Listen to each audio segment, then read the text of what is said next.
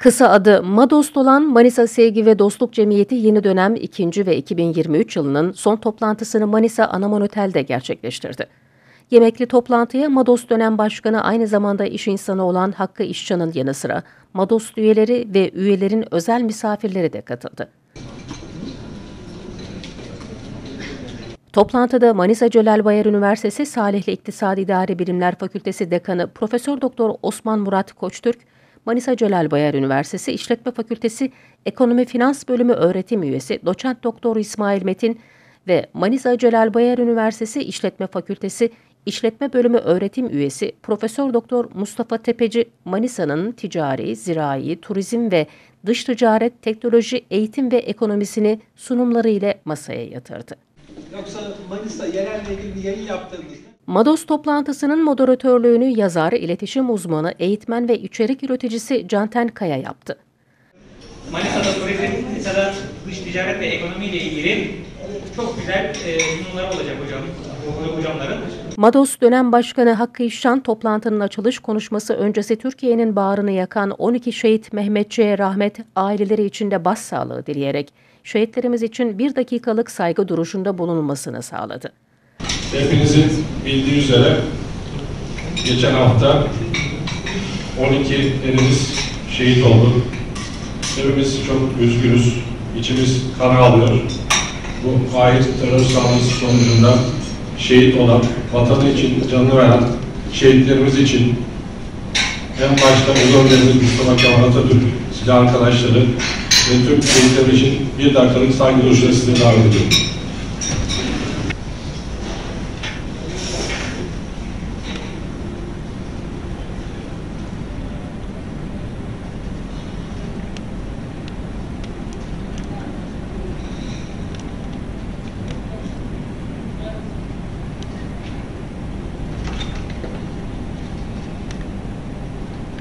Evet, teşekkürler. Ruhları şad olsun, mekanları cennet olsun inşallah. Ne yapsak azdır onlar için. Hakkı İşcan daha sonra Mados'un Manisa'da en kapsayıcı ve birleştirici platform olduğu vurgusunu yaptığı konuşmasında şu ifadelere yer verdi. Konu konuşmacımız İsmail Akçay'dı, Anemon Otel'lerin yönetim kurulu başkanı. Şöyle bir özet geçersek İsmail Bey 60'lı, 70'li, 80'li yılların Türkiye'sinden bahsetti. O günkü yoksulluklardan bahsetti. Ve o zor şartlarda nasıl inşaatlar yaptığını bize anlattı. İnşaatçılıktan turizme nasıl geçtiğini anlattı.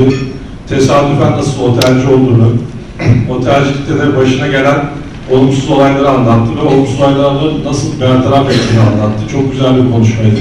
Hepimiz buna tanıklık ettik. Bir kez daha huzurlarınızda İsmail Bey'e teşekkür ediyorum. Onun yanı sıra geçen ay e, Cumhuriyetimizin 100. yılına vurgu yaptık. 29 Ekim Cumhuriyet Bayramı'nda hakikaten 7'den 77'ye tüm vatandaşlarımız büyük bir coşkuyla Cumhuriyet Bayramı'nı kutladı. Atasına ve Cumhuriyet'e sahip çıktı. Bu da bizim için ileri dönük motivasyonumuzu, ülkemizin birlik beraberliğini görmüş olmamız motivasyonumuzu arttırdı. Ee, inşallah Cumhuriyetimiz ilelebet payidar olacaktır diyoruz. Bunun yanı sıra geçen ay toplantımızda Modos'tan da bahsettik. Ee, yeni üyelerimiz de var. Kısaca söyleyeyim.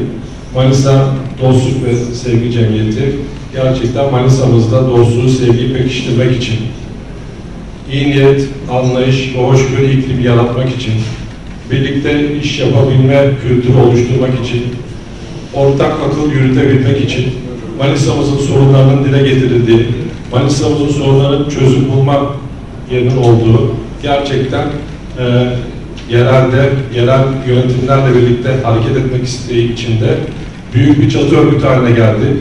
Bu çatı örgütü hakikaten tüm Manisa'mızı kapsıyor. Çok ciddi bir birlik olduk, çok ciddi bir güç olduk. İnşallah bundan sonra yeni seçilen başkanlarımızla dirsek temasında çok güzel işler yapacağımıza inanıyorum. 2024 yılına şurada sayılı günler kaldı. Ee, 2023 yılını şöyle bir gözden geçirsek, her yıl başında herkes bir muhasebe yapıyor. 2023'te neler olmuştu, 2024'te neler olmasını arzu ediyoruz. 2023'e bakınca aklımızda kalan en büyük olay 6 Şubat depremiydi. Hakikaten ülkece sarsıldık. 11 ilimizi etkiledi. Binlerce vatandaşımız evsiz kaldı. Binlerce evin üstünde vatandaşımız hayatını kaybetti. Hepimizde ciddi bir üzüntü yarattı. Biz de diyoruz ki inşallah bundan sonra böyle sıkıntılar yaşamayız. Ama deprem ülkesiyiz. Bunun bilincindeyiz. O zaman bize düşen önlem almak. Şimdi e, önümüzdeki aylarda kısmetse belediye başkan adaylarımızı buraya davet edeceğiz. Hem ilçelerden e, büyükşehir için. Kendilerine sorular yöneteceğiz. Belki ilk sorumuz şu olmalı. Manisa depreme hazır mı? Manisa depreme dirençli bir şehir mi? Toplanma alanlarımız var mı? Kentsel dönüşümle ne düşünüyorlar? Bunları ilk elden sormamız gerekiyor. Bunun yanı sıra biliyorsunuz iklim krizi devam ediyor dünyada.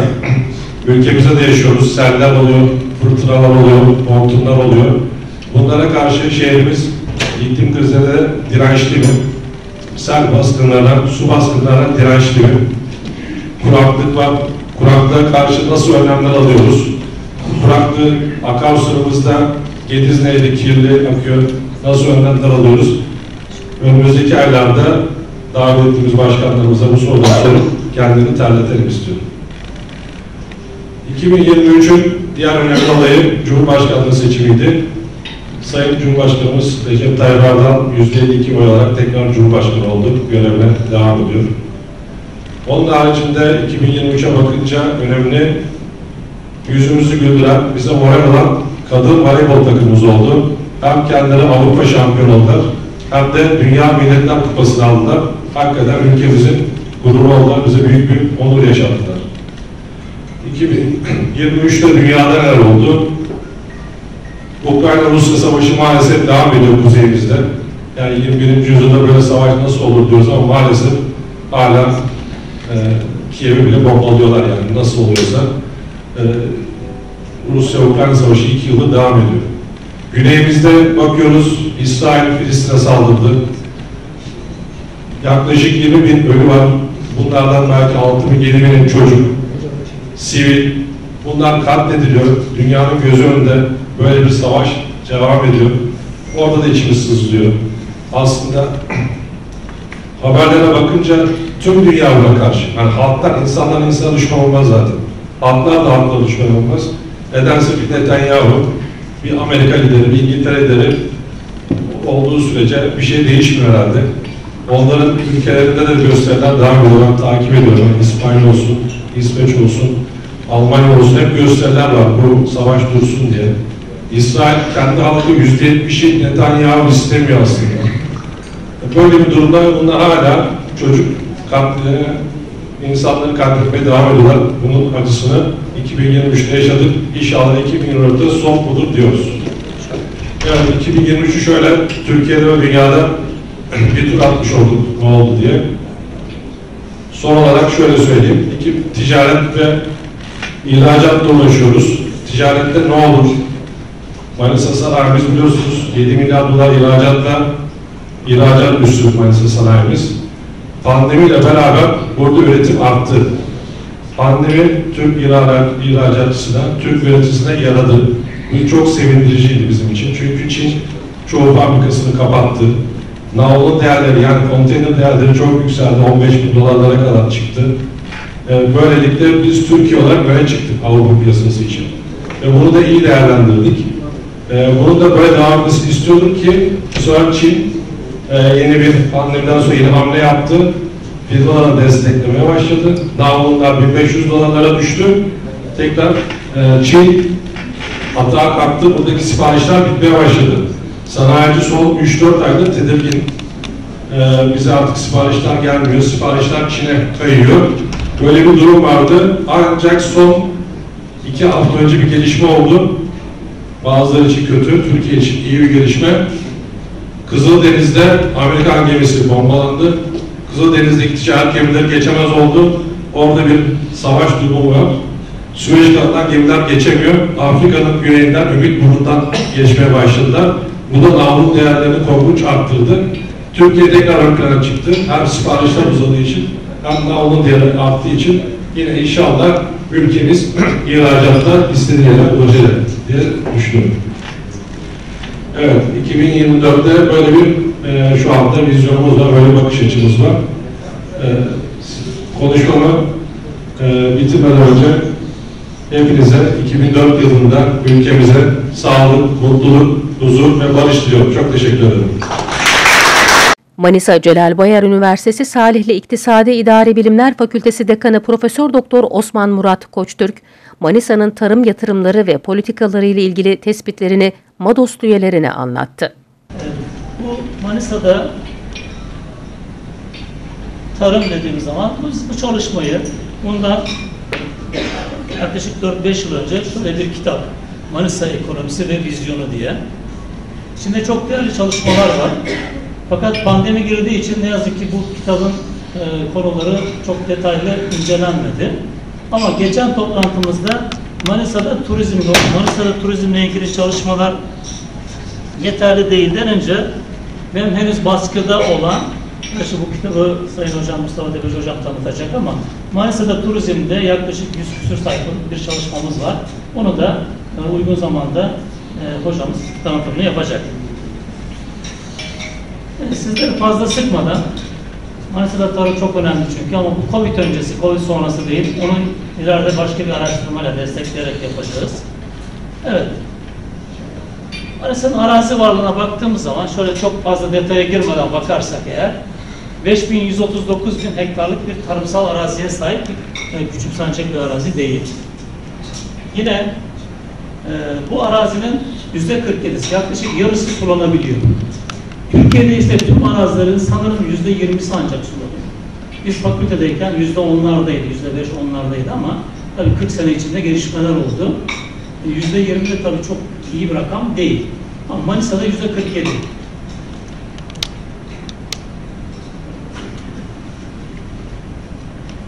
Evet, baktığımız zaman hayvancılık da Manisa'da aslında fena değil.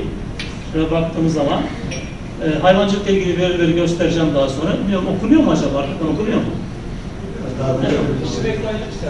Yani konu başlıkları çiftçi örgütlenmesi, Manisa'da tarımsal inovasyon, teknoloji ve girdi kullanımı, tarımsal istihdam ve genç çiftçilerin tarım sektöründe etkinliğinin arttırılması, e, tarımsal ürün satımında kümelenme, yine Alaşehir Soran örneği, Agropark ve Gıda İktisat Organize Sanayi Bölgesi'nin kurulma olanakları,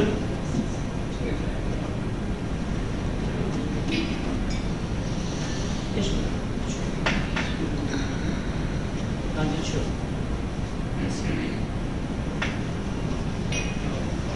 Evet. Başlıklara baktığımız zaman 1 milyona yakın küçükbaş hayvanımız var. 231 bin civarında da büyükbaş hayvan. Dediğim gibi bu veriler pandemi öncesi.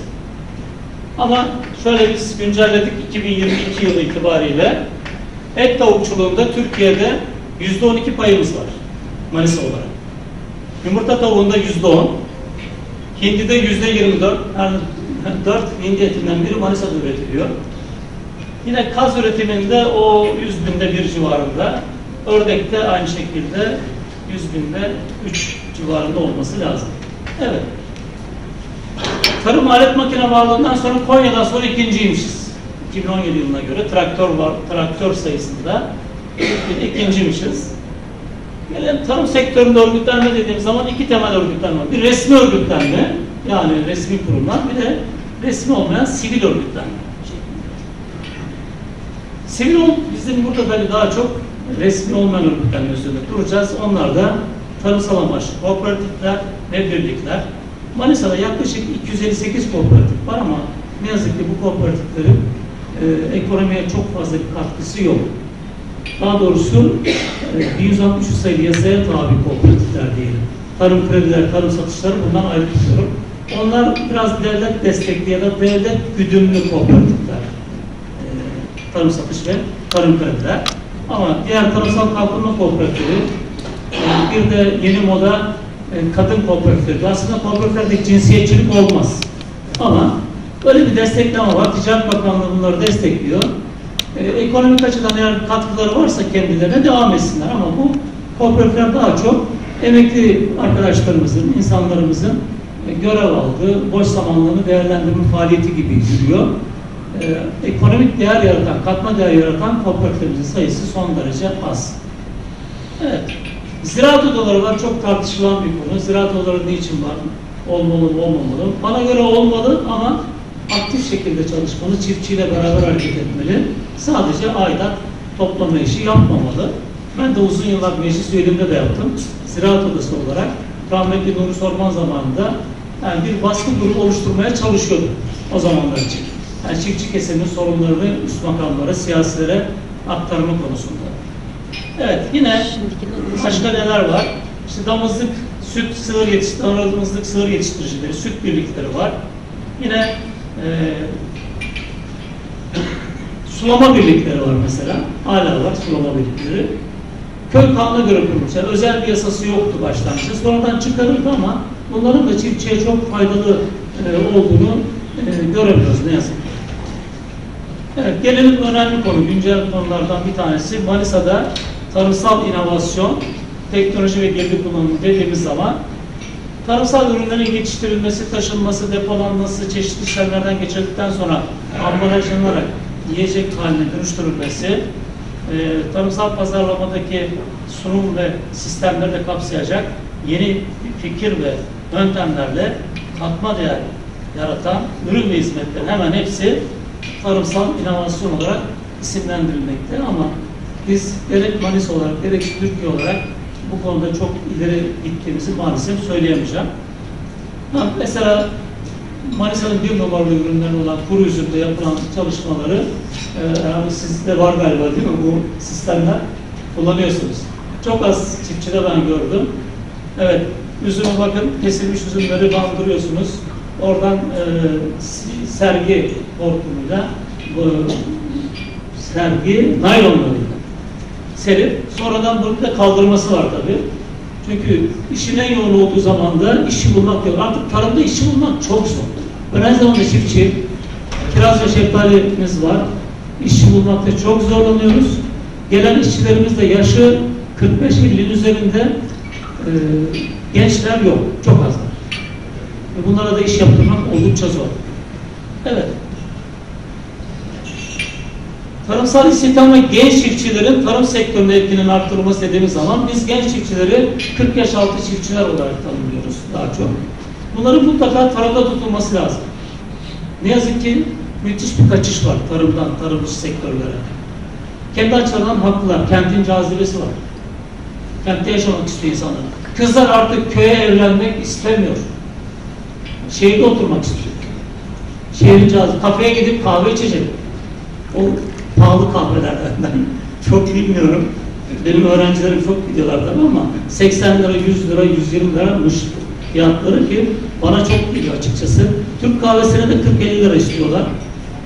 Ee, hatta bir arkadaşım var, Binaslı biraz komik de. Kemeraltı'na gittiğimizde pazarlık ediyor. Kahveyi kaçtan vereceğim? Ona göre oturacağız bak. 6 kişiyiz diyor. o da tabii bir karşılık bulursa. Evet. Köylere gittiğinizde, araştırma için gittiğinizde sizleri karşılayanlar genelde 50 yaş üstü. 55, 60 yaş. Yurt gidin bakın. Diğer yerlerde çok az genç var. Şimdi gençler tarımı terk ediyor. Neden? Çünkü tarımda gelir düşük. Hele gençlerin daha da düşük. Evet. Organik tarım, bir valimiz vardı adını unuttum ama bütün Manisa'yı organik tarım yapacağım diyordu. O kadar kolay değil. Lafla değil. Yani onu söylemek kolay da tamamen organik tarıma geçmek. Keşke öyle olsa. Yediklerimizin ne olduğunu çoğumuz bilmiyor ne yazık ki. Manisa'da bu konuda yapılan bir çalışma var geçmiş yıllarda. Ee, pardon. Ee, hemen hemen bütün ilçelerimizde organik tarım yapılıyor. Üzümde de var. Fakat çiftçiye getirisi fazla değil. Yani, organik tarım yaptığınız zaman kimyasal girdi kullanmayacaksınız. Pestisit, kimyasal ilaçların hemen hemen hiçbirini kullanmayacaksınız. Çok az eskilerin deyimiyle işte göktaş, kükürt gibi insan sağlığına zararlı olmayan e, kimyasal, onlar da kimyasal girdi. Onları kullanmanız gerekiyor. Tabii bu, bunu yapabilmeniz için de çiftçiyi desteklemeniz lazım. Ona göre fiyat farkını vermeniz lazım. Bu konuda eksiklikler var. Evet. Jeotermal enerjiyle seracılık. Bu özellikle Alışveriş Sarıgöl bölgesinde bununla ilgili çalışmalar var. Hatta belediyenin de bu konuda destekleri var ama henüz böyle geniş çaplı bir üretim e, daha başlamadı henüz. Evet, kümelenme. Bakıyorsunuz Alışehir'de yaklaşık 20 tane kiraz üzüm işleme tesisi var. Ve bunlar 3-400 milyon dolar ihracatları var. Beraber çalışıyorlar. Bir kümelenme sayılabilir. Aynı şekilde Saruhanlı bölgesinde de kuru üzümde böyle bir kümelenme var. Yani bunlar acaba birlikte hareket edebilirler mi? Tabii rekabet de var aralarında. Şu ana kadar böyle bir başarı sağlanamadı ama beraber birlikte hareket etseler pazarlama açısından, markalaşma açısından daha iyi olabilir diye düşünüyorum. Evet, bununla ilgili başka bir önerimiz de Agropark ve gıda ihtisas organize sanayi bölgelerinin kurulma olanakları. E, Bu çalışma yurt dışında var. Türkiye'de henüz e, başlanan böyle bir çalışma Mersin bölgesinde var ama henüz daha somut veriler yok. Yani bir tarımsal üretimin tarladan tüketicinin sofrasına gelinceye kadar ki geçirdiği aşamalarda birçok işletmenin yer aldığı bir sistem.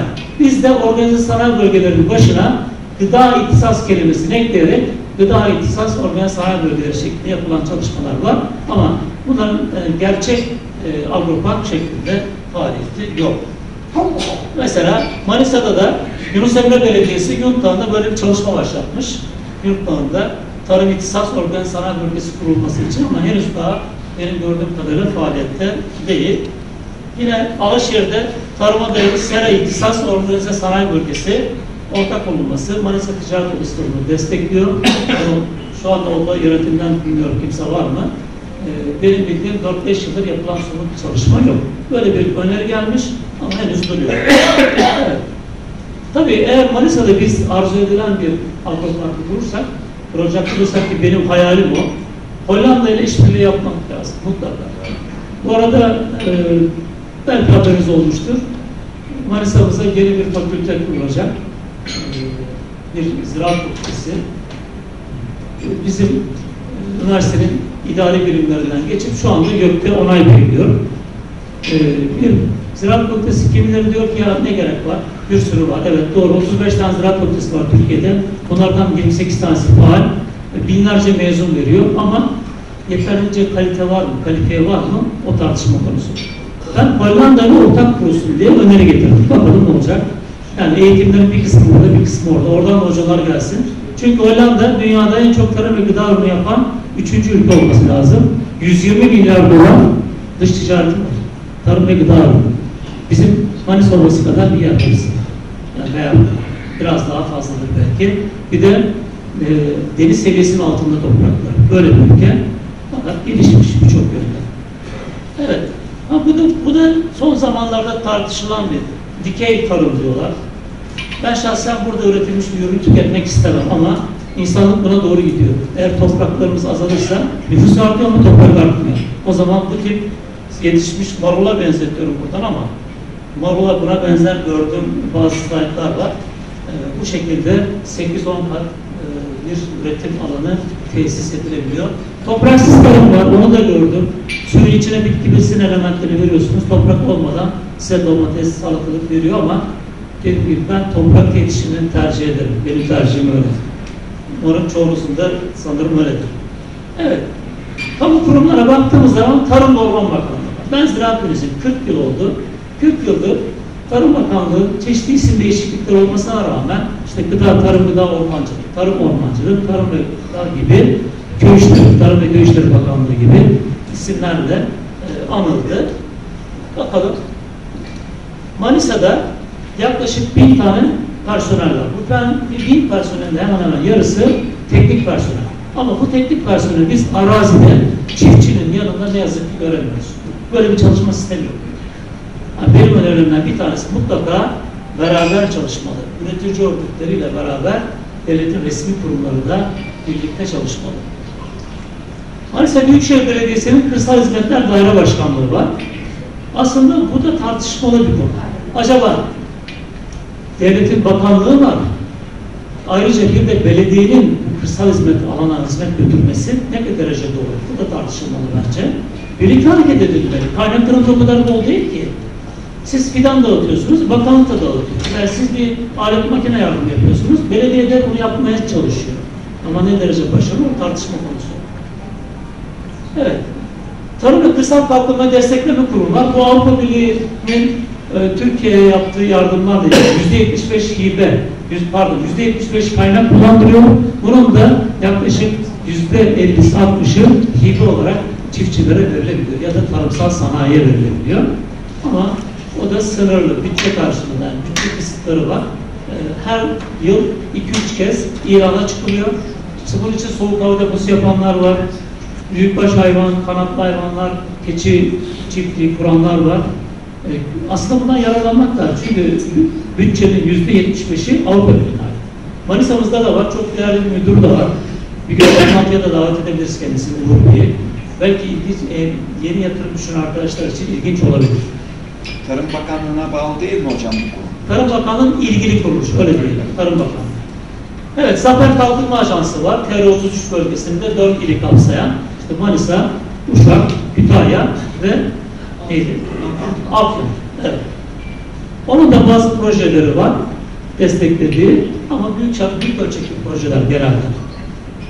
Evet. Şöyle bir SWOT analizinde kısaca gözden geçirirsek Evet, güçlü yönlere baktığımız zaman bir kere topraklarımız çok güçlü, çok güzel. Teknik elemanlarımız var mı? Var. Tarımsal sulama kaynakları var. Ya da vardı diyelim. Azalmaya başladı. Yeraltı suları çekiliyor korkunç. Ekonomik yönden güçlü ülkelere yakınlığı, Türkiye'nin yani şansı dünyanın en zengin ülkelerine uçakla gittiğinizde 3 saat. Bu çok önemli bir özellik. Bence bir artı değer. Lojistik konumu, ürün çeşitliliği, büyük ve küçükbaş hayvancılığa uygun olması, üniversite teknoken, para ve kırsal kalkınma destekleme kurumu ve kalkınma ajansının varlığı, barajların varlığı artı değerler.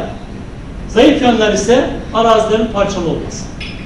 Tarım işletmenin ölçeklerinin küçük olması, tarımsal ürün pazarlama kanalındaki yetersizlik, üretici örgütlenmesindeki yetersizlik gibi zayıf yönlerimiz var. Peki Fırsatlar ne? Organik tarıma uygun mu? Evet uygun. Ama bunu bilinçli bir şekilde yapmak şartıyla. Tarımsal pazara yakınlık, onu zaten biraz önce söyledik. Tarımsal teşvikler var, yeterince yararlanmıyoruz. Yerel yönetimlerin tarıma yatırım yapması, jeotermal kaynakların varlığı, tarıma yatırım yapacak şirketlerin varlığı bunlar fırsatlar. Peki tehdit ne? Köyden kente göç, yaşlı nüfus. Yani insanların yenilikleri uygulama şey 40-45'tir. 40-45 geçtikten sonra insanlar yeniliklere çok açık değildir. Evet, nüfus azalıyor. İklim değişikliği, biraz önce başkanım da bahsettiği gibi o da çok önemli. Artık yani gelecek nasıl olacak? Bunları bazı film senaryoları gibi var. Düşünün yani e, tarımsal üretim yok. Karnımızı nasıl doyuracağız? Birçok savaşların nedeni de bu zaten. Bu olacak. İşte Rusya'da Ukrayna savaşı. Tahıl ambarı. Eğer biz olmasak millet açlıktan ölecek. Biz olmasak derken onların gemileri taşıdığımızdan bahsediyor ve ne yazık ki biz de buğday ithal eden bir ülkeyiz. Tarımsal girdileri ithal ediyoruz. Ben öğrenciyken 17-18 milyon ton üretim vardı. Aradan 40 yıl geçmiş hala 17-18 milyon ton. Niye? Topraklarımızda demek ki ya sorun var ya azalma var. Evet. Çiftçinin eğitimsizliği, aşırı ilaç kullanımı bunlar da önemli. Genel olarak baktığımız zaman biraz önce söyledim. Türkiye maalesef net tarım ürünleri ithal eden ülke konumuna gelmiş. Badem, ceviz, buğday, mercimek bunlar dahi dışarıdan satın alınıyor. Evet, gelir azalıyor. Gelir azalınca da tarımdan kaçış başlıyor. Tarımdan tarım dışı sektörlere. Ha, rahmetli Süleyman Demirel'in bir sözü vardı işte. Köylü nüfusunu azaltalım. Tamam azaltalım da ama nasıl? Tarımdan tarım dışına kaynak aktaralım. Evet, onu da yapalım. Ama nasıl olacak? O insanları nasıl istihdam edeceksiniz? İşte Manisa'da bugün konut sorunu var. Evlenecek insanlar ev bulamıyorlar. Nüfus artıyor ama konut arzı aynı şekilde artmıyor. Evet. Tabii siz eğer köyde oturanı kente kaptırırsanız bir daha geri dönmez. Dedim ya kızlar artık köye evlenmek istemiyor. Bu yaklaşık 20 sene oldu bunun başı, 20-30 senedir. Derslerde soruyorum bazen. Kırsal kökenli öğrencilerim var. Hayır diyor, biz şehire evlenmek istiyoruz. Kesinlikle köyde yaşamak istemiyorlar. Evet. Tabii üretici örgütlenmesi ne yazık ki Cumhuriyet'in kurulduğundan beri biz bunu başaramadık. Yani başarılı olamadık. Var. Bazı kooperatiflerimiz başarılı olanlar var. Devlet güdümünde olanlar var ama devlet hala bunları bırakmamış. Ya bırak artık çocuk büyüdü, evlendi, yuvasını açtı. Yok benim kontrolümde olacak. Her şeyi devlet kontrol edince ne yazık ki arzu edilen sonuçta alınamıyor. Evet. Peki ne olması lazım? Bana göre 40 yaş altı çiftçilerin hepsinin sosyal güvenlerin olması lazım. Hatta işçilerin ve bunların belli bir süre devlet tarafından karşılanması lazım. Yoksa tarımda çalışacak insan bulamayacağız. Benim abim 69 yaşındayım. Traktör kullanıyor. Niye? Şoför var. Şoförümüz de 60, 63 yaşında. O yorulunca yani e, çok zor. Gerçekten zor.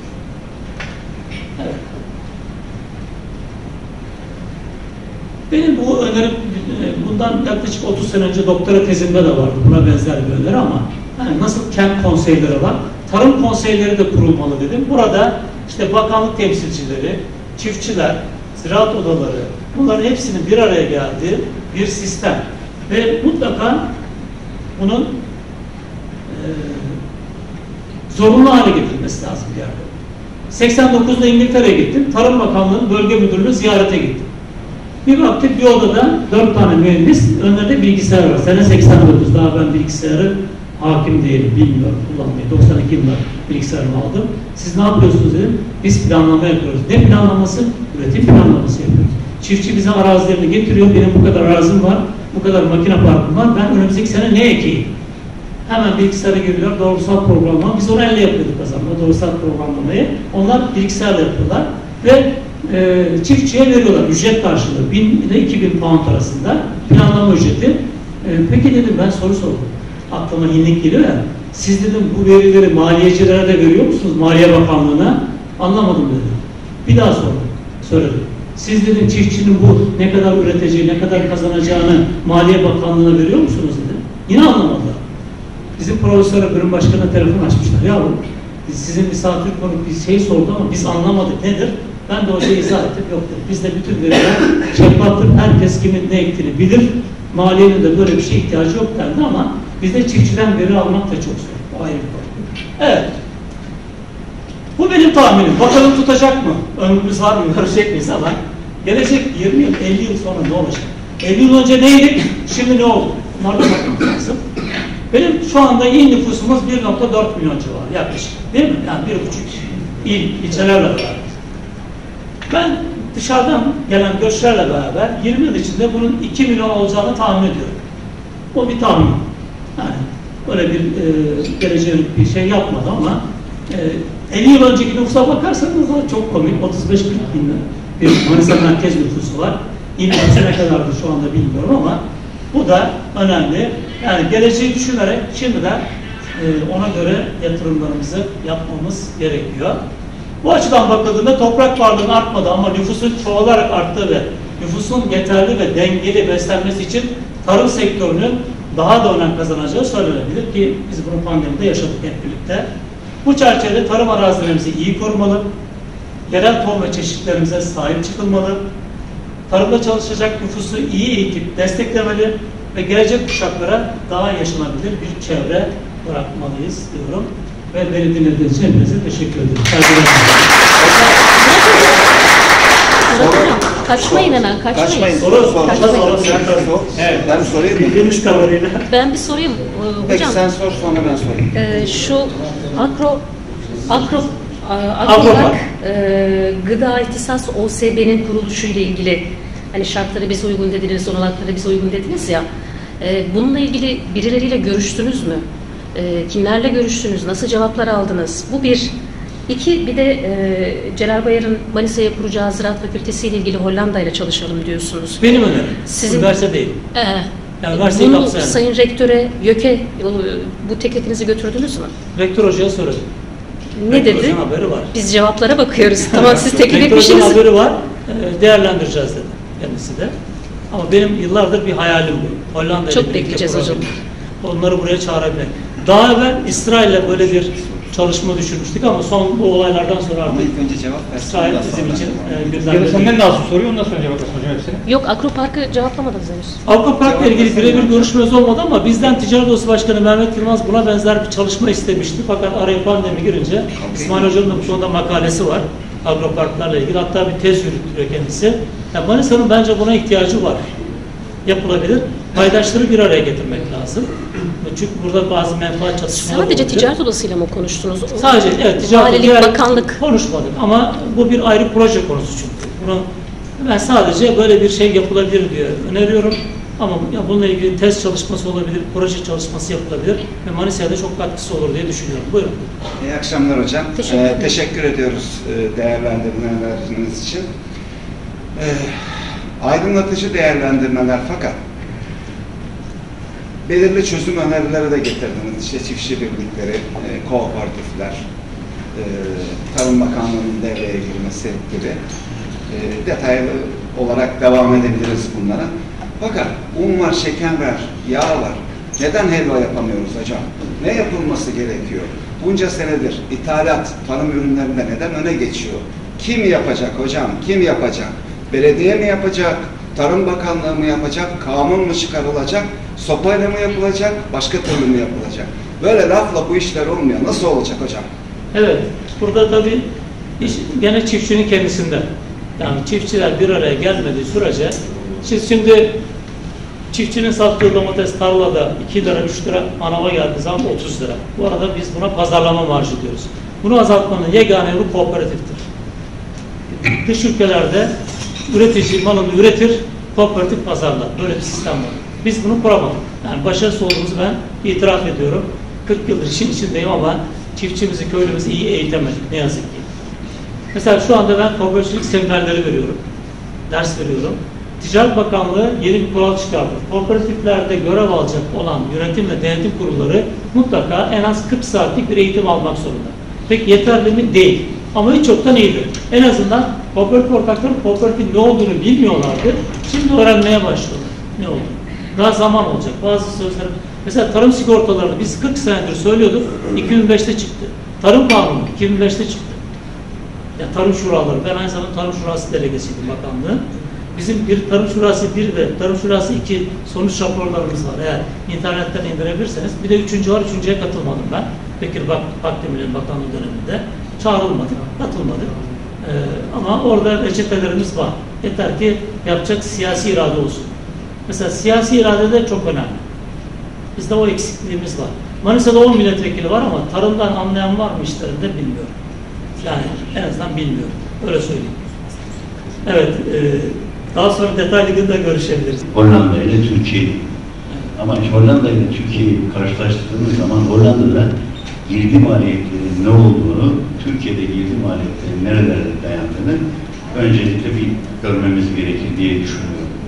Şimdi Hollanda'da bir hektar e, topraktan siz 760 kilo, 770 kilo buğday alıyorsunuz ama Türkiye'ye geldiği zaman 300 kilo. Amerika'da bu bir ton ve Avrupa ülkelerin bazılarında böyle. Şimdi burada tarımın e, bizim tarımın geri kalmasının nedenlerini aslında e, araştırmamız yani sorunlarını tespit etmemiz ve ondan sonra da çözüm önerileri getirmemiz gerekir diye düşünüyorum.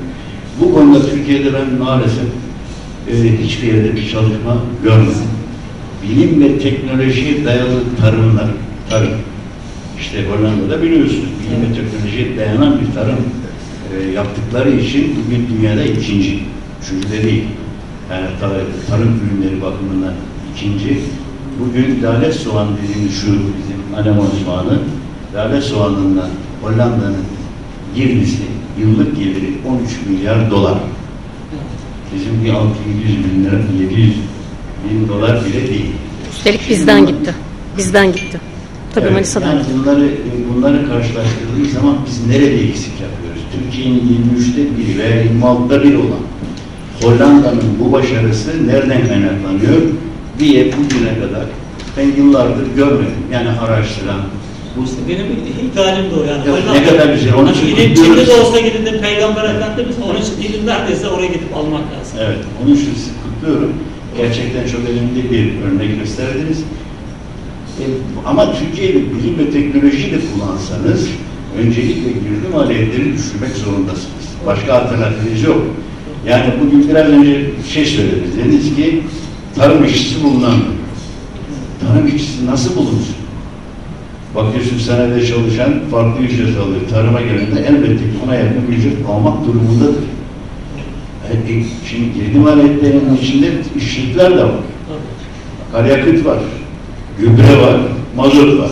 Hala biz gübre, mazot ve e, ilaçlardan fon ve vergi alıyoruz. Doğru mu hocam?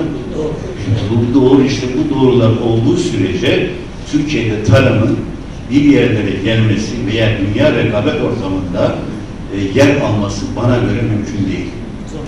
Bu tartışmalar e, hep görüyorum. Gittiğim her, yer, her yerde tarımla ilgili söyleşim, söylemleri görüyorum. Tarım e, uzmanları çıkıyorlar, bir şeyler söylüyorlar, doğru şeyler söylüyorlar. Ama çözüm yok. Yani biz nasıl bunu başarırız?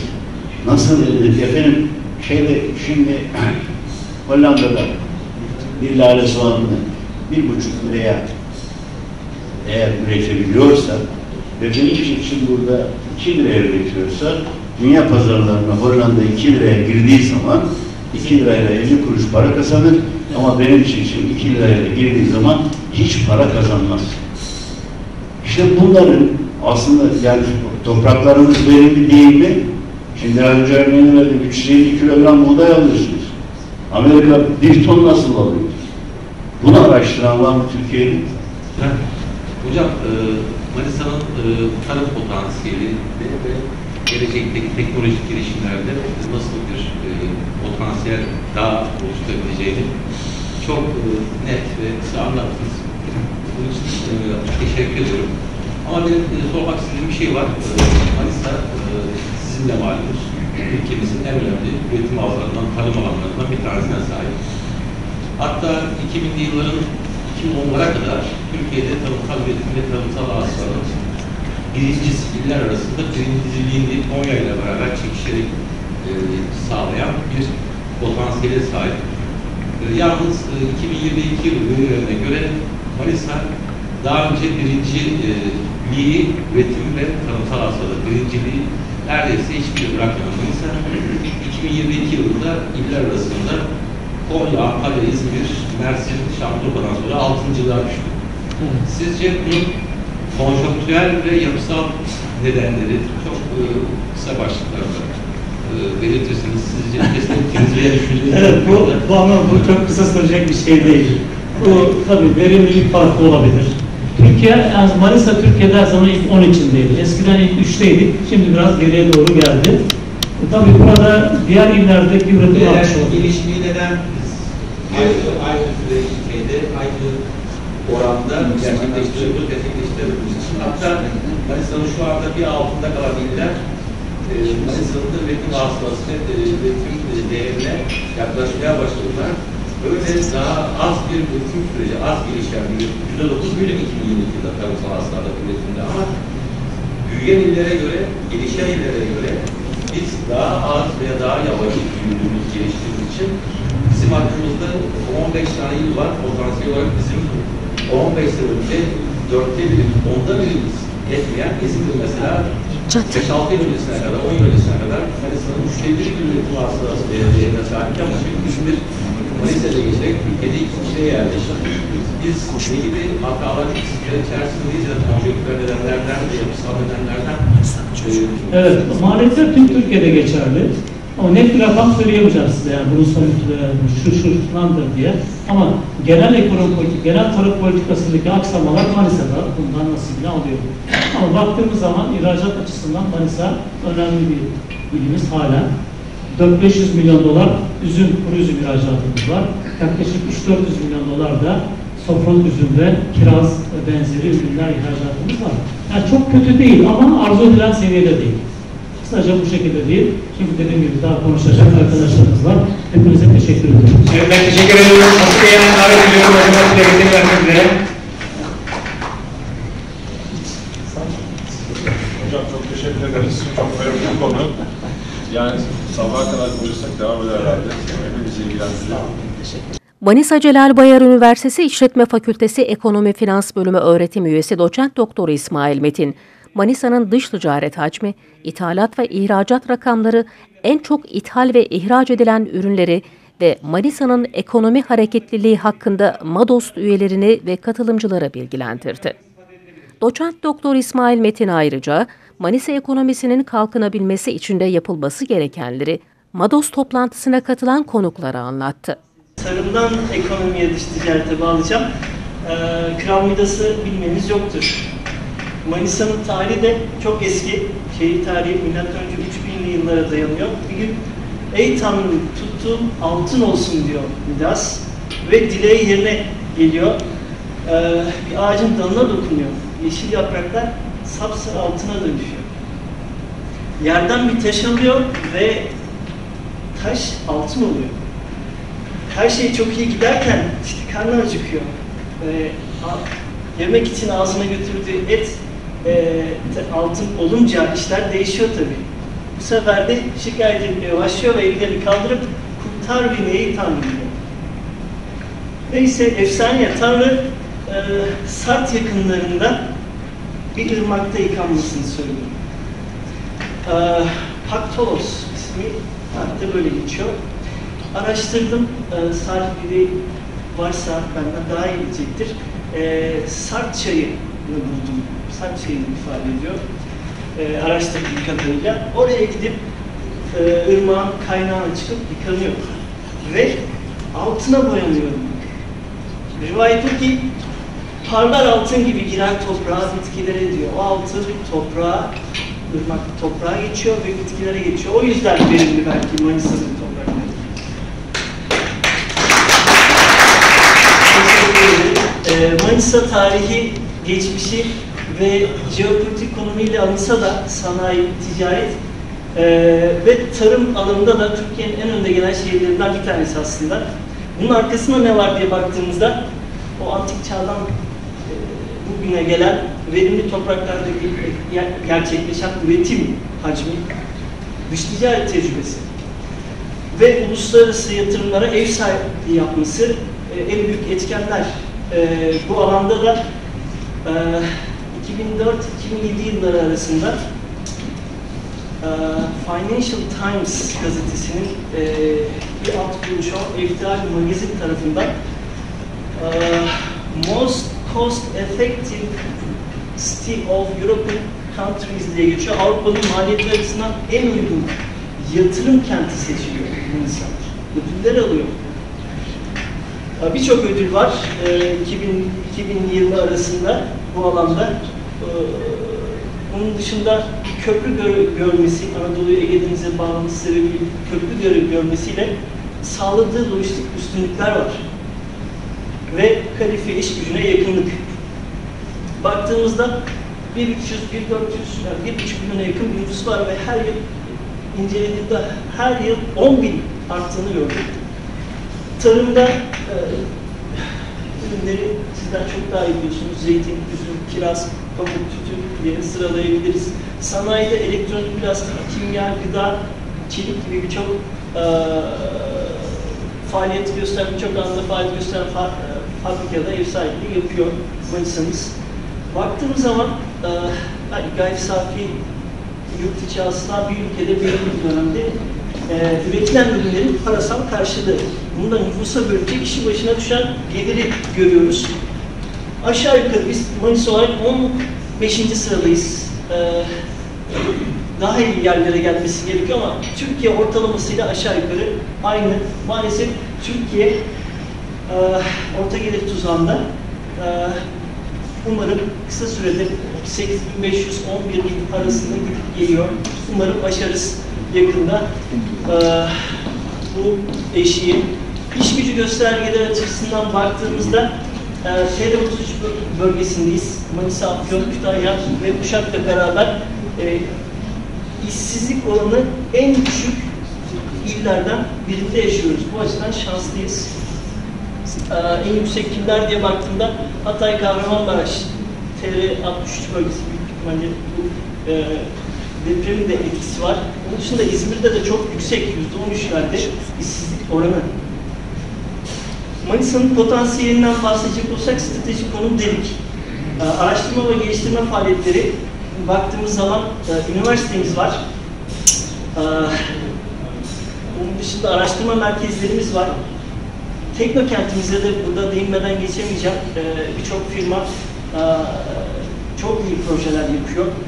Ee, Şunu da söylemeden geçemeyeceğim açıkçası. Yani bilimsel araştırma olmadan araştırma geliştirme olmuyor. Araştırma geliştirme olmadan ekonomik gelişme de olmuyor. Bu, bu bir gerçek.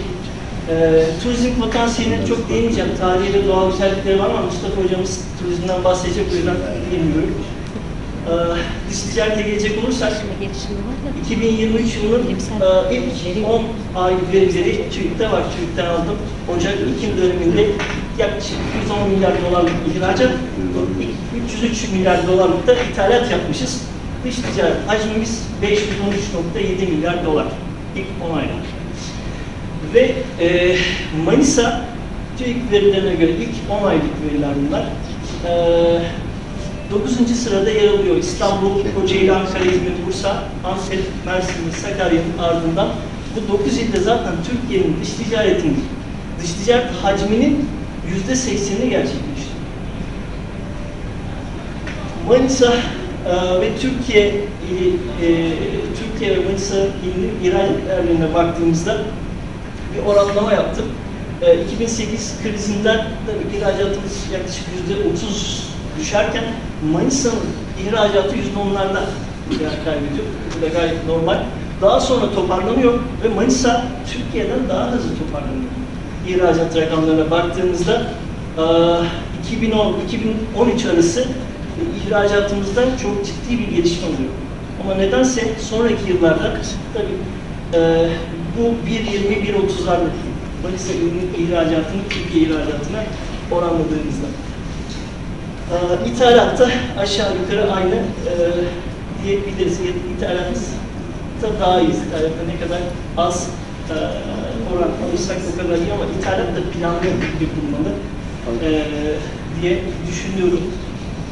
E, en çok dış ticaret yaptığımız ülkelere baktığımızda Romanya ve e, Polonya her ikisinde de var. İhracatta Romanya, İngiltere, Polonya başı çekerken e, ithalatta ise Almanya, Polonya ve İtalya ön sıralarda yer alıyor. Hangi ürün gruplarını ihracat, hangi ürün gruplarını en çok ithalat yapıyoruz diye baktığımızda ise e, makine ve TV'ler. Manisa'nın yaptığı toplam ithalatın %63'ünü yine makine ve TV'ler toplam ihracatın, tüm ihracatın %74'ünü kapsıyor. Diğerleri e, yani Türkiye e, dış ticaretinde e, yine benzer e, ürünler, plastik ve demir çelik ürünlerini görüyoruz. Manisa'da 50 milyon doların üzerinde ihracat yapan sanayi kuruluşlarına bir ele aldım. Vestel, Bosch, Arçelik, e, İnci, Klimasan, Polinas gibi sanayi kuruluşları var. Tarımda da e, iyi firmalar var. Özgür Tarım en çok üzüm ihracatı yapan firmalardan bir tanesi 13 ya da 14. sırada yanlış hatırlamıyorsam. 75 milyon dolar civarında. Baktığımızda e, Manisa ilinde en çok ihracat yapan sektörle e, sektörler e, ülke ihracatında önde gelen sektörlerde hemen hemen paralellik gösteriyor. En çok ihraç ettiğim ürünlere ilaveten e, biz Manisa olarak kivi ve iklimlendirme aletleri, zeytin, tavuk ürünleri, meyve ve sebzelerin e, ihracatında e, göze çarpıyor. Bunun dışında yani ihracat ve ithalat sektörlerinde benzerlik olması ihracatın büyük bölümünün ithalata bağımlı olduğunda bir göstergesi. Peki neler önerebilirim diye kafa yordum. Bu alanda da bir e, akademik bir çalışma yaptım. İhracatta müşteri bulma yöntemleri üzerine nasıl ihracat yaparız? Nasıl ürünlerimizi ihraç ederiz diye. E, bunları da ikiye ayırdım. Bir geleneksel yöntemler, bir de modern yöntemler olmak üzere. Geleneksel yöntemlerin başında en çok tercih edilen ülkemizde e, fuarlar. Kendi alanınızla ilgili ihtisas fuarlarına katılmanız gerekiyor. Ve bununla ilgili de e, destekler var. İşte sektörel fuarlarda 452 bin lira destek var. Prestijli fuar ise bu üç katına kadar gidiyor.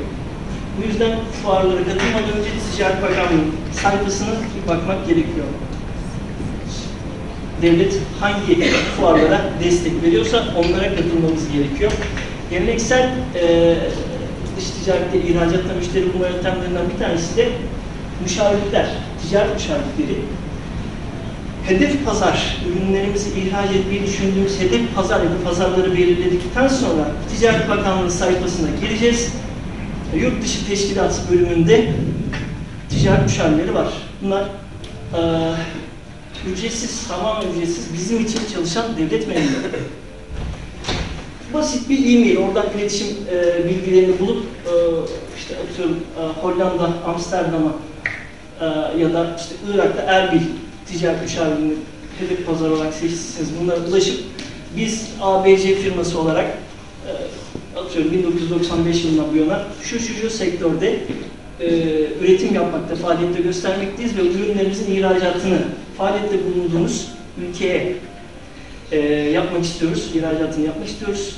Bize çalıştığımız ülkedeki e, ithalatçıların, toptancıların iletişim bilgilerini, özellikle e-mail adreslerini tarafımıza verilmesini arz ederiz. İletişim bilgilerinizi alabiliriz. E, attığınızda birkaç gün içinde dönüyorlar. E, hazır çalışmaları var. Yapılmamış siz farklı bir sektördeyseniz 3-5 gün içinde bir haftada dönüş yapıyorlar ücretsiz bir şekilde.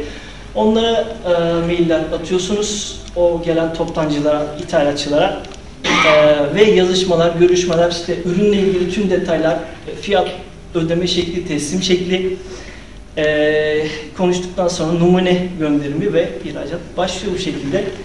E, geleneksel yöntemlerden devam edecek olursam e, iş adamları dernekleri, TÜSİAD, MÜSİAD ve benzeri derneklere üye olacağız. Belki MADOS bunu da sağlayacak bize. Onun dışında e, ihracatçı birlikleri, genel sekreterliğine üye olacağız ihracat yaparken şart. E, bir şirket kurmamız ve ihracatçı birliklerine üye olmamız yeterli ihracat yapabilmek için biliyorsunuz. E, ihracatçı birliklerinde alım talepleri oluyor. Kendi sitelerinden üyelerine yayınlıyorlar. Bunları takip edip e, müşteri bulabiliriz. Ya da ticaret ve sanayi odaları Mehmet Bey'i sıkıştıracağız. Heyet görüşmeleri yapacak. Davet edeceğiz alıcıları yurt dışından. Veya biz gideceğiz. Bir şekilde bulacağız. Bunların hepsi e, geleneksel yöntemler arasında yer alıyor. Modern yöntemler ne- neler peki?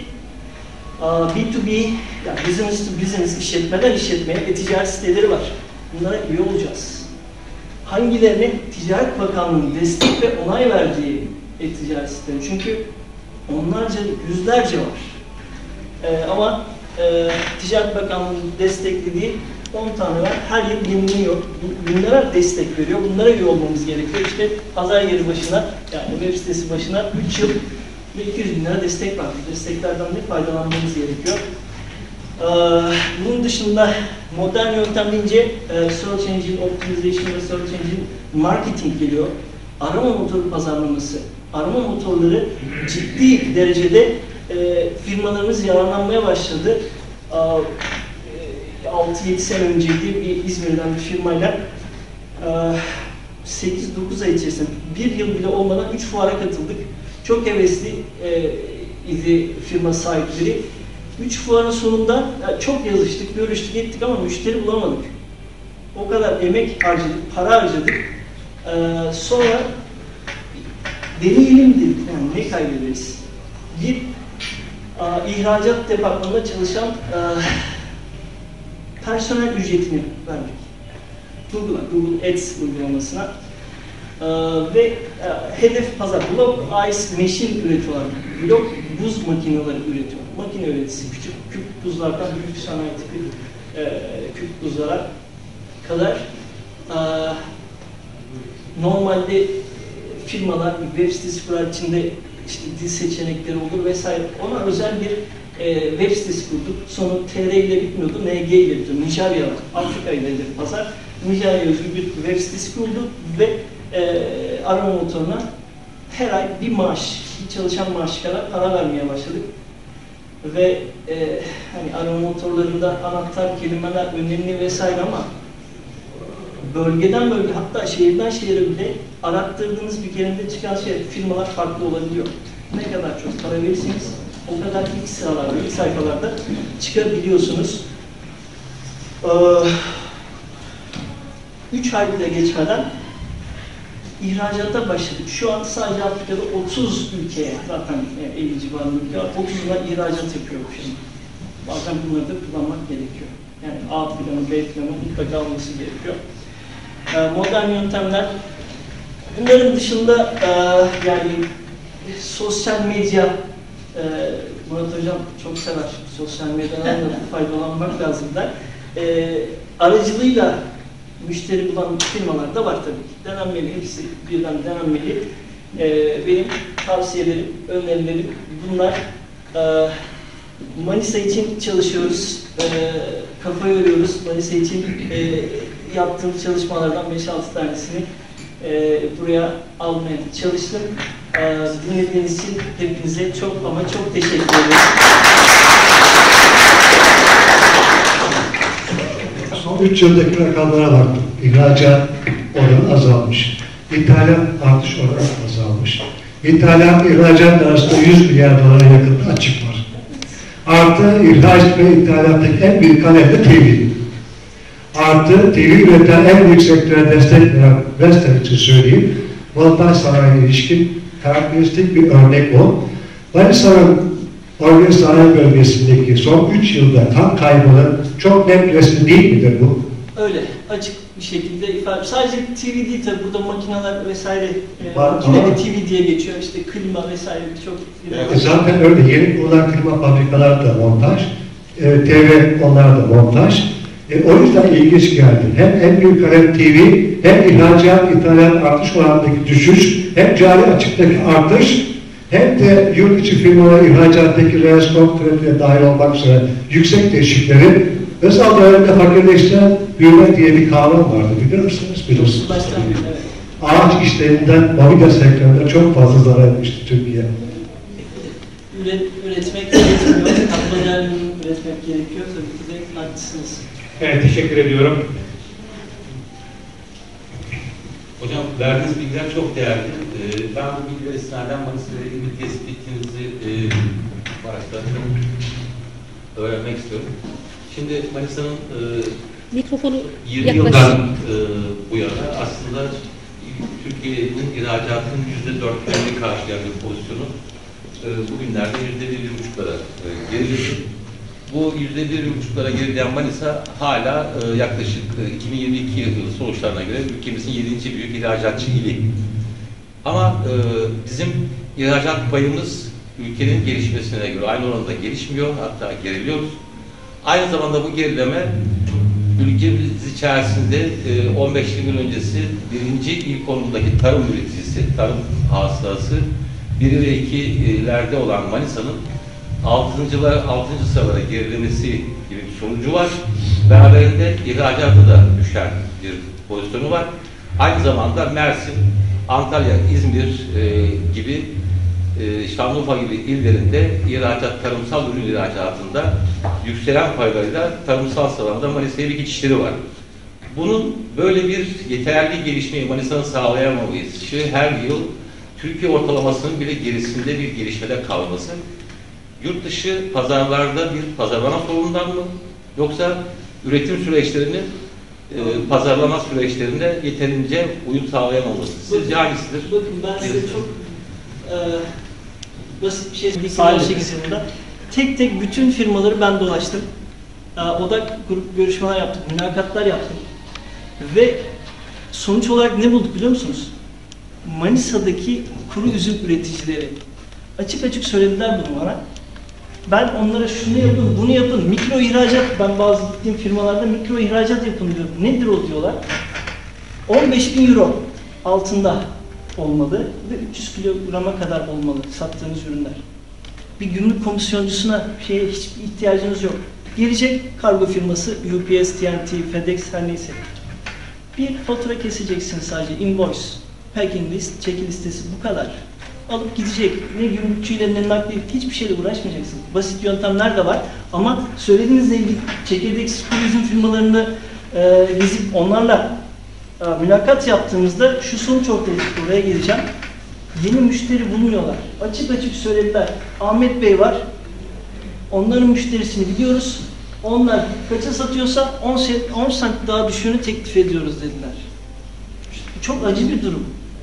Yeni müşteriler, dünya çok büyük. Üzüm, altın. Bu bölgede yetişen bir altın. Farklı pazarlar bulmak gerekirken birbirlerinin müşterisini çalıyorlar. Bu sayede gelişmez. Bunu ortaya koyduk. Bir de şu var hocam, e, şu anda Türk parası eriyor ama dolar euro devamlı yükseliyor. Bunun için dışarıdan müşteri bulmak daha karlı ve akıllıca. Yani onun için mutlaka dışarıya açılmak zorundayız. Zaten e, son dönemde bakanımız da e, sanki onu ima olarak vurguladığı gibi geldi bana. Evet teşekkür ediyoruz hocama. Nurettin Bey'e hemen ödülü vermek için. Ediyoruz.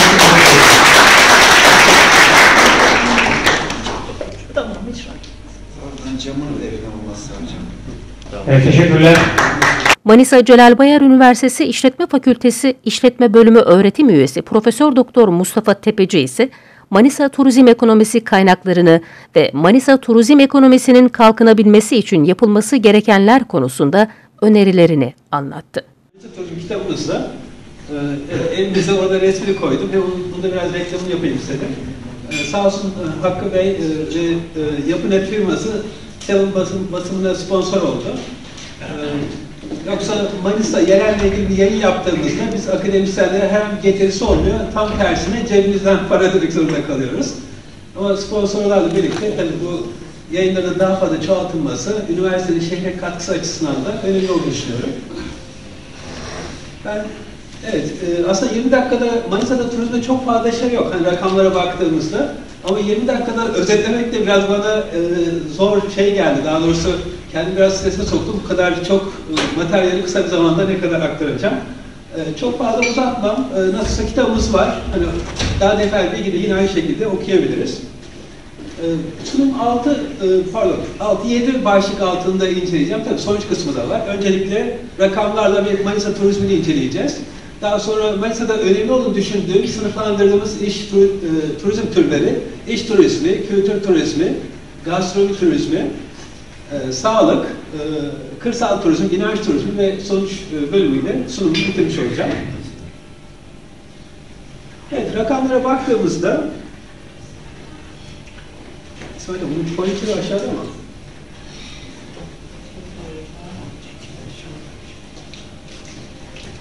Sen bu pointer nerede?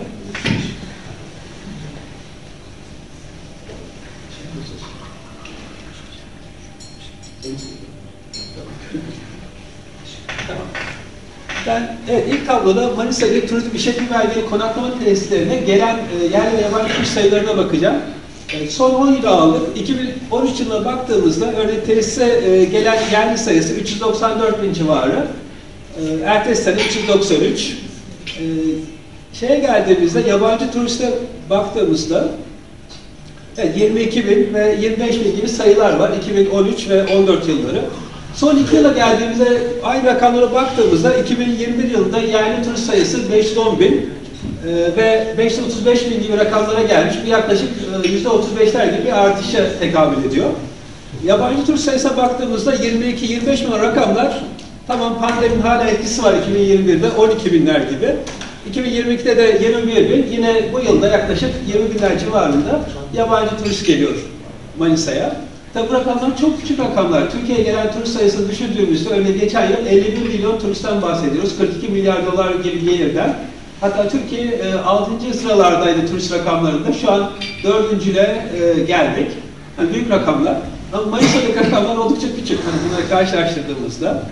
Yine e, müze ve öğren yerleri gezen sayılarına baktığımızda işte bizde Manisa Müzesi var ama kaç yıldır e, taşınma ve açılma durumuyla ilgili sorunlar var. Çok günceli takip etmiyorum ama e, belki de siz daha yakından takip ediyorsunuz. Yani bu kadar uzun süre buranın açılamaması aslında bir dezavantaj. Çünkü buraya gelmek, görmek isteyecek olan çok sayıda e, turist olabilir. E, yine Akisar Müzesi var. Evet, Alaşehir Sençen Kilisesi, işte buradaki yine Sart Harabeleri, Aygay Antik Kenti. Toplamına baktığımızda 2022 yılında 56 bin gibi bir rakamdan bahsediyoruz. Bu rakamlar çok küçük. Örneğin bir Mevlana Müzesi'ni ilk 9 ayda gezen turist sayısı 1600 kusur. Ya da e, Efes gezen yine 1200'lerin üzerinde. Tabii biz onlarla aynı şeyde e, ürünümüz yok belki ama bu rakamlar onlara kıyaslandığında oldukça gerilerde. Ee, neyse geçeyim bu rakamları. Ee, elimizdeki turizm e, işletme belgeli tesislere baktığımızda yani ilk boyutunda 32 tesisimiz var. Ee, yıldızlı olarak eskiden turizm işletme belgeli dediğimiz 32 e, otelimiz var. E, merkezdeki Double Tree Hilton'lar, evet Manisa Anaman Otelleri 5 yıldız olarak yine 4 yıldızlı otel, pardon, otellerimizde e, hem merkezde hem ilçelerde evet görülmekte. Yatak kapasitesine baktığımızda evet, burada çıkmamış ama yaklaşık olarak e, hemen şuradan kesin rakamları vereyim. Evet, toplamda 1893 e, oda ve 3805 e, e, yatak kapasitesi mevcut. Yani 1893 oda, 3805 e, yatak kapasitesi bu turistik otellerde. E, bunların dışında bir de e, tüm Türkiye'de, ilimizde de aynı şekilde e, e, eskiden belediye belgeli olup şimdi Turizm Bakanlığı onları basit konaklama olarak sınıflandırdığı oteller var. Bunlar da 70 civarı Manisa'da. Ve onun yatak kapasitesi de hemen hemen buradaki e, yatak kapasitesi örneğin 3900, ondan hemen kesin rakam vereyim. Evet, 3947 yatak kapasitesi var.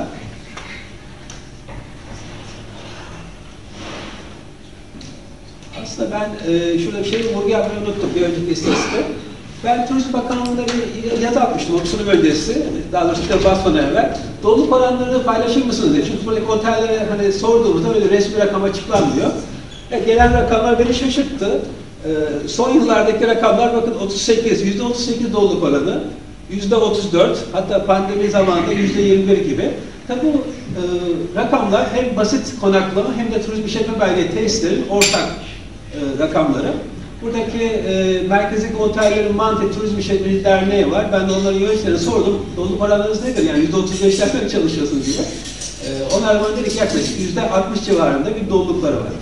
Yani buradaki merkezdeki e, Yunus Emre ve Şehzadeler e, turizm işletme belgeli tesislerde. E, ama bu rakamlar eğer e, Turizm Bakanlığı vergi rakamlar, resim rakamlar sonuç olarak oldukça doluluk oranlarının düşük olduğunu, yani arz bir şekilde var ama demek ki talep e, yeteri kadar e, olmadığını göstermekte. Evet, otellerden sonra e, işte, turizm işletme belgeli e, restoranlara baktık. Yani gelen turistlere hizmet verebilecek, nitelikli, kaliteli hem yerli hem yabancı turistler açısından. E, en son e, İlk Kültür Turizm Müdürlüğü'nden aldığım rakamlar bunlar. E, yaklaşık 13 e, işletmenin e, şeyi var, turizm işletme belgesi var, yeme içme tesisi.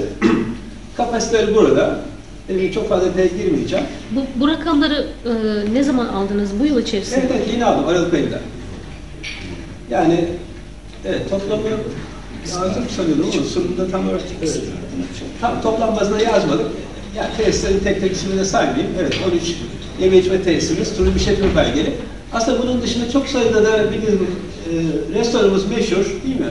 E, Organ Sanayi Bölgesi'nin Niten olduğunu hatırlıyorum. İşte ne bileyim Manisa isimleri söylemesek bile reklam oluyor?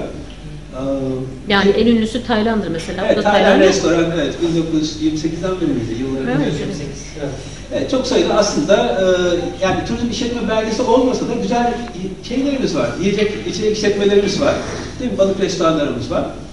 E, aslında Türkiye'nin, e, hatta Türkiye'ye gelen e, turistlerin en büyük gelme sebeplerinden biri de ya da memnuniyet duydukları hususlardan biri de Türkiye'deki bu yiyecek içeceğin bolluğu ve çeşitliliği, lezzeti.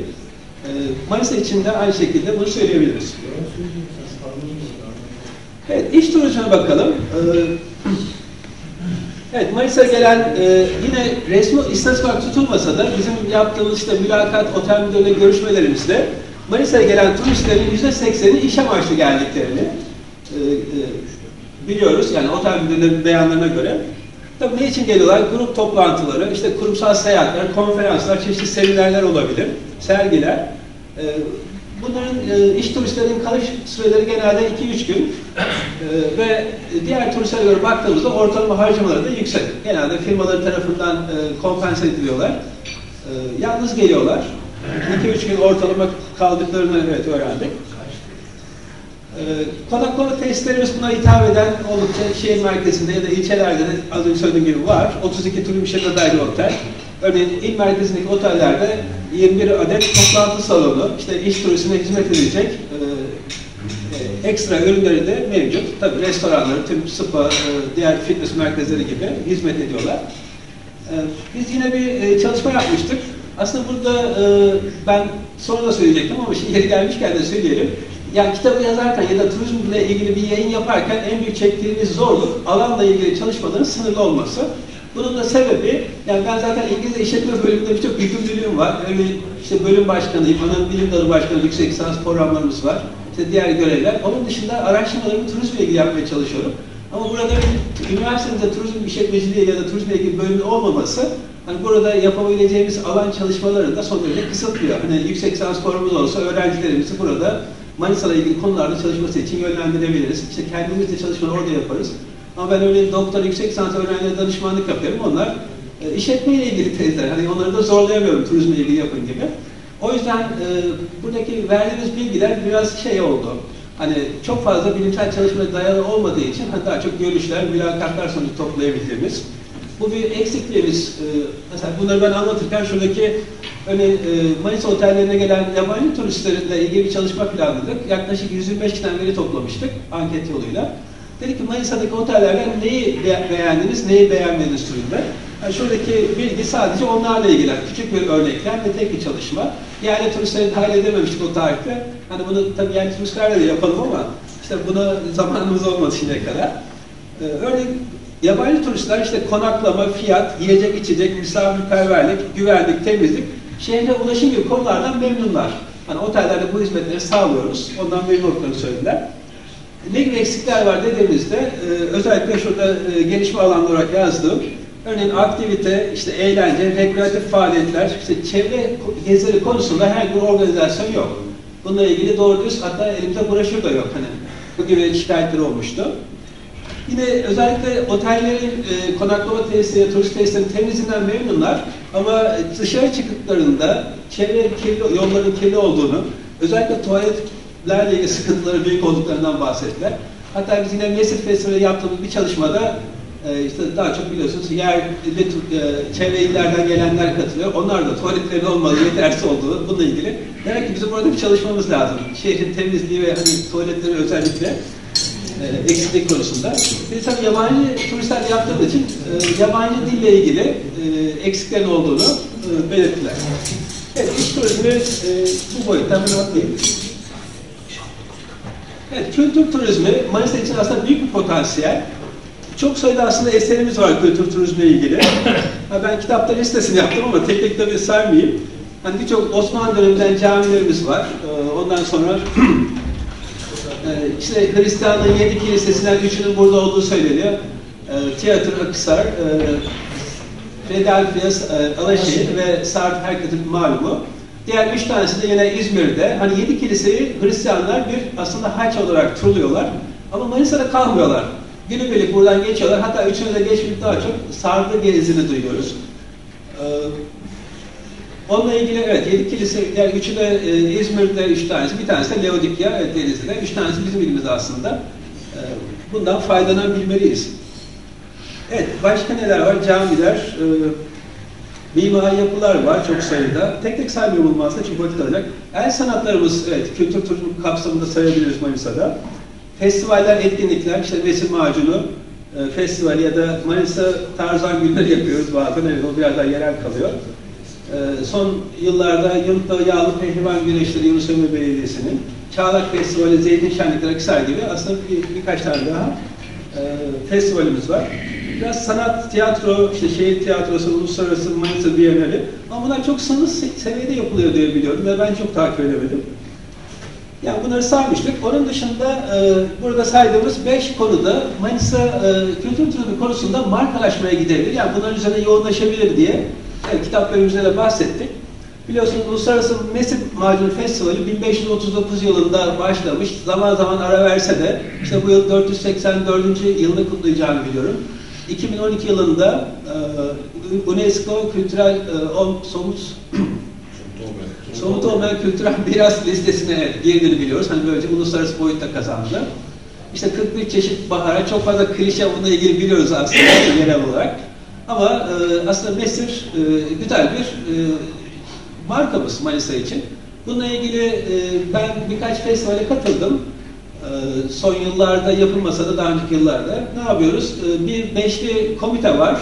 İşte vali yardımcısı başkanlığında Büyükşehir Belediyesi, Şehzadeler, İl Kültür Turizm Müdürlüğü, bir de Meyse ve Manisa'yı e, tanıtma derneğimiz var. E, bu beşli grup oturup hani bu festival organizasyonu yapıyorlar. E, ben e, bununla ilgili yine bir çalışma yapmıştım. Mesir Festivali daha iyi nasıl düzenleyebilir şeklinde. E, tabii şimdiye kadar yapılanlar, hani iyi yapılan şeyleri takdir edelim. Örneğin ben e, ya da e, katılımcılar e, çalışmada korteji çok beğeniyorlar. Çünkü orada işte çeşitli Türkiye Cumhuriyetlerden, Balkanlardan çeşitli e, festivaller için e, grupları çağırıyoruz. Folklorik gösteriler var, işte kıyafetler, tarihi canlandırmalar, işte halkın büyük katılımı, alkış. E, güzel bir e, geçiş kortej töreni var. Aslında son yıllarda yine bir haftaya yayıldı festival. İşte yemek yarışmaları, e, çeşitli konserler, tiyatral gösteriler, e, Cuma e, Sultan Camii'nde mevlüt, işte pilav, ama şey baktığımızda hani bunlar olumlu güzel yönleri. Hani neler şikayet ediyoruz gibi çalışmamız ortaya çıkan sonuç aslında biz yerelin kültürel, sosyal boyutunda bu festivalde yansıtmıyoruz. Örneğin işte bir pop sanatçı çağırıp burada bir konser vermesi doğru bir yaklaşım değil. İşte 1539 senesinden beri ya da Osmanlı kültürü hatta daha geçmiş Anadolu Selçuklularda olan kültürel değerlerin, o sosyal çevrenin bugüne taşınması gerekir. Ki yabancılar, özellikle biz yabancı turist istiyorsak Tabii yabancı açılmadan evvel kendi yerli turistimizi memnun etmek durumundayız. Yani diğer illere, diğer çevre e, yerlerde oturan hani Türkler için buradan başlayıp bu içeriği geliştirebilmeliyiz. Böyle bir geri bildirim aldık. Aslında bir iki husus daha var, onları da atlamadan. Evet, e, eksiklik olarak söylenenler festival forumun içeriğinin yetersizliği. Özellikle yerel kültürel ve sosyal yaşamın yeterince yansıtılmaması. Buna Mesih Festivali'ne katılan hani katılımcıların söyledikleri festivalin tanıtım eksikliği ve festivalin organizasyonunda tüm paydaşların işbirliği ve desteğin alınmaması. Hani dediğim gibi beşli bir e, otorite bu e, festivali e, biraz kamu e, festivali bunların yönetiminde oluyor ama artık bu işin de profesyonelleşmesi ve daha fazla katılımın gerektiği konusunda hani kendi fikirlerim var. Örneğin üniversitenin burada bir parça olmaması bence çok büyük eksiklik. Çünkü üniversitenin, hani ben turizm işletmeci tarafındayım ama arkeoloji, sanat tarihi, işte tarih, birçok edebiyat e, imkanları aslında burada kullanılabilir, o profesyonel bilgi. Hatta üniversitenin tesisleri açılabilir. İşte bize de konferans salonları var, çeşitli yerler. Yani buradaki o sıkışıklığın bir kısmı aslında üniversite orada çeşitli işte gösteriler, ne bileyim satış yerleri de orada yapılabilir belki. Orada dağıtarak üniversitenin de burada önemli bir aktör olması gerektiğini düşünüyorum. Hatta belki de çeşitli sivil toplum kuruluşları, dernekler de bu yapıya girerse biraz daha profesyonelleşme, daha iyi bir içerik olabileceğini düşünüyorum. Ama burada çok fazla yazmadım. Ee, aslında daha fazla bu konuyla ilgili bir çalıştay yapılabilir, daha derinlemesine evet, bilgi ortaya çıkarılabilir. Çok fazla konuşmayayım olmazsa, e, yani çünkü diğer turizm türleri de var. Manisa tarzını yine çevreci, işte 1899 Irak'ta doğdu, birçok bilgiyi biliyoruz. Ama biz bunu nasıl kullanabiliriz? Güzel bir simge aslında, çevreci, hem tarihi, işte yaptıkları kahramanlık öyküleri, e, işte e, kendisi bir barikası olur. Ben hatırlamıyorum ama barikası nerede olduğunu bilen var mı? Topkale'de. Kale üzerinde. Tamam. Kalenin yani ben yıllar gördüm de unuttum ondan sonra sonra düşünüyorum. Aslında bu yerleri gezmek de gerekiyor biraz e, yıllar geçince. Yani o canlandırılabilir. İşte insanların orada gezmesi, gezecek bir e, yer yapılabilir. Belki e, şey olarak hani Türkiye tanıtımında çevreciliği vurgulamak için tarzan bir figür simge olarak kullanılabilir. Çeşitli belki te, e, tematik oteller yapılırken yine tarzan figürü ya da hediyelik eşyalar e, boyutunda hani Manisa'da simge olarak Manisa tarzına ilgili çeşitli hediyelik eşyalar yine yapılabilir. Hani turizmi kullanabiliriz. E, Sart Antik Kenti e, Bin Tepeler, evet, yine turistleri. Bu da aslında yine e, geçici kültürel miras listesine girmiş bu yıl e, sanırım. E, bununla ilgili Sart hani oldukça e, önemli bir e, gezme yeri aslında. Ama tabii oradaki tüm e, kalıntıların e, gün yüzüne çıkarılması ve restorasyon çalışmaları, bununla ilgili e, yakın çevresine de tesisler gerekiyor.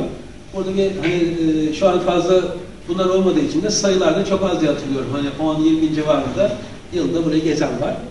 Evet, Saruhanoğlu Beyliği önemli bir yine kültürel turizm açısından. İşte 1313 e, Manisa'nın fethi, e, hatta 710. yılıydı diye hatırlıyorum bu yıl kutlamalar. E, Regal Khan'a denk gelen bir günde buranın fethedilmesinden dolayı işte bununla ilgili çeşitli e, sanırım Şehzadeler Belediyesi'nde bir organizasyonu var. Yani Osmanlı dönemi medeniyeti ve eserleri evet, ilimizde Şehzadeler şehri olarak biliyoruz. Sanırım 16 e, şehzade burada e, yetişmiş. 5 ya da 7 miydi? Şey konusunda tam tereddüt yaşıyorum. Padişah değil mi burada? 5 mi 7 mi? 6. Tamam arada ben 7 almışım kitap ama sonra 5 miydi diye tereddüt yaşadım. Tekrar bir bakma konusunda. Neyse bu arada kitap okuyan e, burada çok sayıda hani, uygulamacı var ya da şehri benden çok daha iyi tanıyan var. Ben Akhisarlıyım ama Manisa'yı öğrenmek biraz zor oldu. Eskiden Akhisar Manisa rekabeti vardı. Çok fazla Manisa'yı bilmiyoruz. Neyse buraya geldikten sonra fazla üniversitede kalınca e, şehir merkezindeki her tane sokaklar çok fazla e, şeyleri bilmiyorum. Burada yaptığımız bir yanlış eksiklik varsa bana e-mail atabilirsiniz. Orada e-mailimde yazmıştım. E, yanlışlık oluyor. Yani her şey bilmek mümkün değil. Evet, Manisa'la ilgili dediğim gibi e, bunu kullanabileceğimiz evet, potansiyel var. Ben geçsem iyi olacak çünkü başka şeyler de vardı konuşacağımız. Evet, gastronomi turizmi yine e, önemli bir konu. Yani burada tabii gastronomi çok e, aslında Türkiye e, yiyecek içecek konusunda oldukça bol ürünü yetişen Manisa'da buralardan birisi. Her türlü sebze meyve şehrimizde yetişiyor. Hatta bol miktarda ve belki de hatta kuru üzüm e, ile ilgili bir çalışmada e, okuduklarım e, dünyanın bir numaralı e, kaliteli üzümün burada yetişti. İşte İsmail Hoca'nın da söylediği gibi biz 1.8 dolara satarken Amerika 2.7 dolara, %50 daha büyük, ucuz, yüksek bir fiyata satabiliyor. Bizim burada yeni bir e, markalaşma sorunumuz var. Yiyeceklerimiz de o kadar girdileri, hani organik, e, lezzetli girdileri var. Çok iyi yemekler kültürümüzü e, içine katarak yapabiliyoruz. E, bu da bizim büyük bir zenginliğimiz. Yani bu da kullanabiliriz. E, çok sayıda coğrafi işaret alan yerel ürünlerimiz var. Demek bunlar belli kalite standartı ya da buraya yerele özgü olması dolayısıyla evet, katkı sunabilecek ürünlerimiz. Evet, zeytinyağından ne bileyim köftesine, asma yaprağı ne bileyim o özellikle organik burada herhangi bir e, şarap ve gastronomi e, rotaları belirlenirse yine önemli girdilerden biri olabilir. Evet, son, en son giren ben de gazetede haber okumuştum, kitapta yazmamıştık ama 40 ağaç çakal pideli paçası e, gaz, şey olmuş, coğrafi işaret almış en son. E, doğrusu ben yememişim, 40 ağaç yolunu düşerse evet buna deneriz. Neyse öklebisi, çilek, e, kavun zaten çok meşhur. E, mesir macunu, evet, taban simidi, odun köfte. E, böyle bir coğrafi işaret sahibi ürünlerimiz var. Evet, gastronomi festivalleri, yemek yarışma, yarışmalarında yine biz e, kendi evet, gastronomik zenginliğimizi sergileyebiliriz, tanıtabiliriz, güzel fırsatlar sunuyor. Evet, neler yapabiliriz yiyecek içecek konusunda? Evet, bunlarla ilgili aktiviteler yapılması, mesela e, işte buraya gelen yerel olsun yabancı turiste bir mesir karımının hani gerçekleştirmesi, özellikle yabancılar için büyük bir tecrübe olur. Yani buradaki herhangi bir yemeğin yapılmasıyla ilgili e, gelen turistlere belki uygulama yaptırabilmek evet, iyi bir zenginlik olur. Tabi bunları öncelikle yapacak olan kişilerin e, eğitilmesi gerekiyor. Bir standartı yakalamalıyız. Hani buradaki gerçekten Manisa'ya özgü evet, böyle bir e, yerel bir yemek var ve bunu bir standartta yapabilmeliyiz. E, otel işletmeleri ya da restoran işletmeleri aynı şekilde menülerinde daha fazla yöresel yemeklere yer vermeliler. Hani be, belli bir spesiyalleri olabilir, bunu geliştirebilirler. Bilmiyorum Aneman Oteli'nden kimse var mı? Burada var mı yöre, yöresel bir yiyecek? Neyse kendini soralım sonra. Ee, gastronomi rotaları, dediğim gibi yemeklerin tanıtımı e, sosyal medyada, diğer e, medyayla yapabilmeliyiz. Evet, sağlık turizminde neler var? Ee, genelde sağlık turizmi tanımlarken biz dört e, boyutunda tanımlıyoruz. Medikal turizm, termal e, spa wellness turizmi, yaşlı turizmi, engelli turizm olarak. Evet, Manisa'da daha çok olan e, medikal turizmle ilgili son yıllarda hareketler var. Tabii özellikle termal spa wellness turizmi. E, buradaki e, tablom, önce şunlara bakalım. E, Uluslararası Sağlık Turizmi yetki belgesi alan e, kuruluşlar var. 9 tane hatırlıyorum. İşte kimileri kamu kuruluşu, burada bizim üniversitenin, işte Merkez Efendi, Şehir Hastanesi. Daha sonra, bunu da yine gazetede görmüştüm. Yeni sahildeki işte Medi Güneş Hastanesi, Grand Medical burada. Evet, Aksar Medigün, Umut Hastanesi. Evet, bu, hatta iki tane de şey var, e, muayene ve 45 Ağustos Diş Sağlığı Polikliniğinde Joint Commission akreditasyonu var. Yani uluslararası sağlık turizmine hizmet edebilecek e, bunlar e, hastanelerimiz ya da polikliniklerimiz. E, evet, termal turizm konusunda da çeşitli kaynaklarımız var. Yani otel Lide Sardes e, termal otel olarak geçiyor e, ve Otel Kaya Magneze yine hani turizm işletme belgeli otel olarak geçiyor.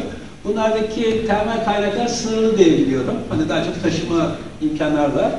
Ama diğer e, kaplıca olarak sınıflandırılan işte Salis, çamur kaplıcaları, kurşunlu, bunlarda kaynaklar bol. İşte Urganlı kaplıcası, Menteşe, Hisar kaplıcaları, Emir kaplıcaları, evet bunlar da kaplıca turizmine e, hizmet verebilen ama daha çok aşağıdakiler e, iş turizme hizmet veren tesisler. Yani bunları da iş turizme açmak istiyorsak muhakkak standartlarını yükseltmemiz gerekiyor. Evet, kırsal turizm. E, bu bölüm Murat Hocam ya, yazmıştı. Onu e, şey yapayım burada öncelikle. E, evet, en meşhur, en fazla belki de burada teşvik edebileceğimiz ya da turizmi gelişmiş sağlayabileceğimiz yerimiz Spil Dağı Milli Parkı çevresi. İşte Yunt Dağları yine, Boz Dağlar, Gediz Nehri, Göl Marmara. Göl Marmara kurudu diye çıkarsak dedik ama burada yine geri kazanma çalışmaları yapıldığını biliyoruz. Şimdilik bunu saklayalım ki e, geri kazanalım. Hatta bununla ilgili baskı oluşturalım. Yine Demirköprü Barajı, yani suyla ilgili ve kırsal turizmle ilgili faaliyetler burada gerçekleştirilebilir. Kula Volkanları Jeopark alanı ben yeni birkaç ay gezme fırsatı buldum. Gerçekten etkileyici. E, hatta Kula'daki o tarihi yapılar, evler, kiliseler, e, yeme, gastronomi Kula önemli bir e, turizm destinasyonu aslında Manisa için. E, Demirci Göl'de Sarıgöl yine yayla turizmi burada Halıca'da çeşitli faaliyetler var. Kaplıca alanları Manisa'daki az önceki saydığımız bölgeler. Yine Akisar Soma tarafındaki de özellikle zeytin koridoru, yeşillik. Evet, burada da yapılacak işte kırsal turizm türü olarak belki çiftlik turizmi. E, Mustafa Bey yok burada ama Obasya'da bir burada girişimcilik var. E, birkaç evet e, faaliyet var ama bu sayı çok sınırlı, çok az. Bunları, bunların muhakkak geliştirmesi gerekiyor. Evet, inanç turizmi çok sayıda evet, e, evet inanç turizmi kaynağımız var. İşte İslamiyetle ilgili baktığımızda çok sayıda cami, hani bunların en öne çıkanları işte Ulu Cami, Sultan Cami, işte Muradiye. İlçelere baktığımızda e, Kula'da Carullah bin Süleyman Camii, e, Akisar'da burada bir torpil geçti, Ulu Cami yazmıştı en sona.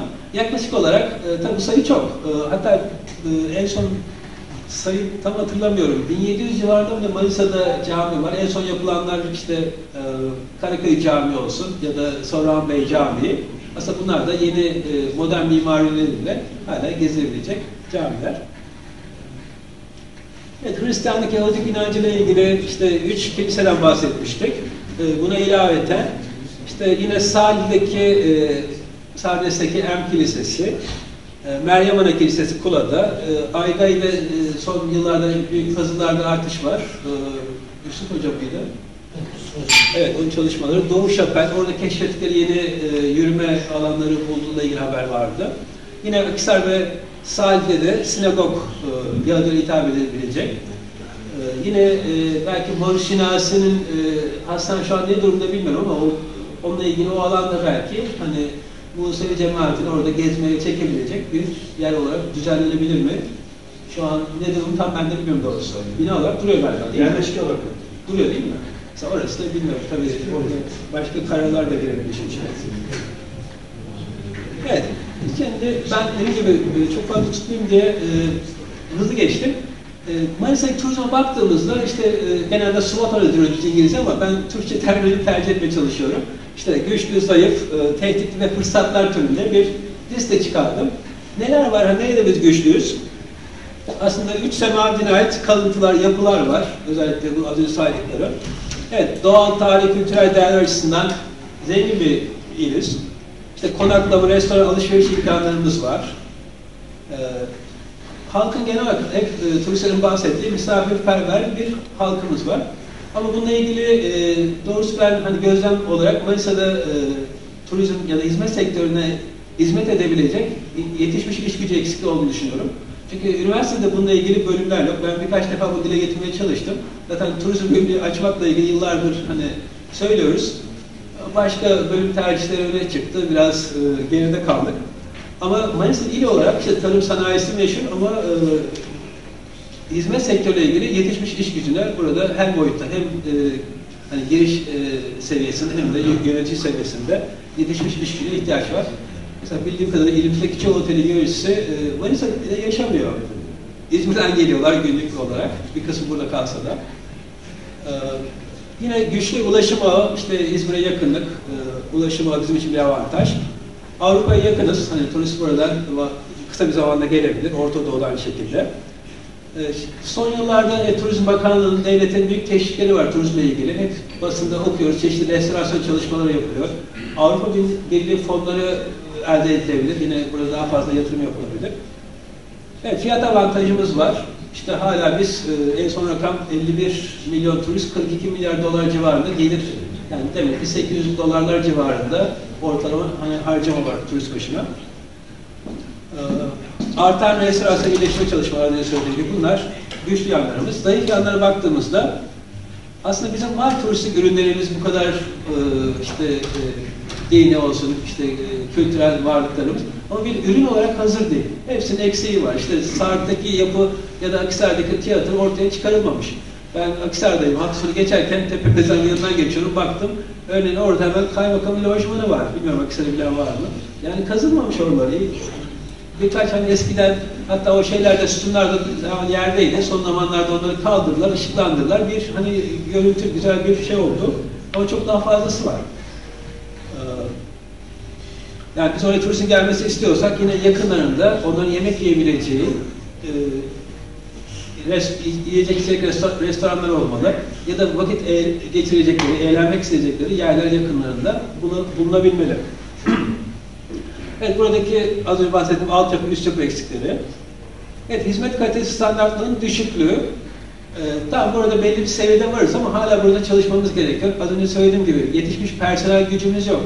Eğer siz o şekilde e, yetiştirmezsek hizmet edecek personeli, hani turiste istediği servis kalitesini verme konusunda sıkıntı çekeriz ki keza e, çevre kirliliğinden ve e, tuvalet kirliliğinden şikayetçilerdir işte turistler.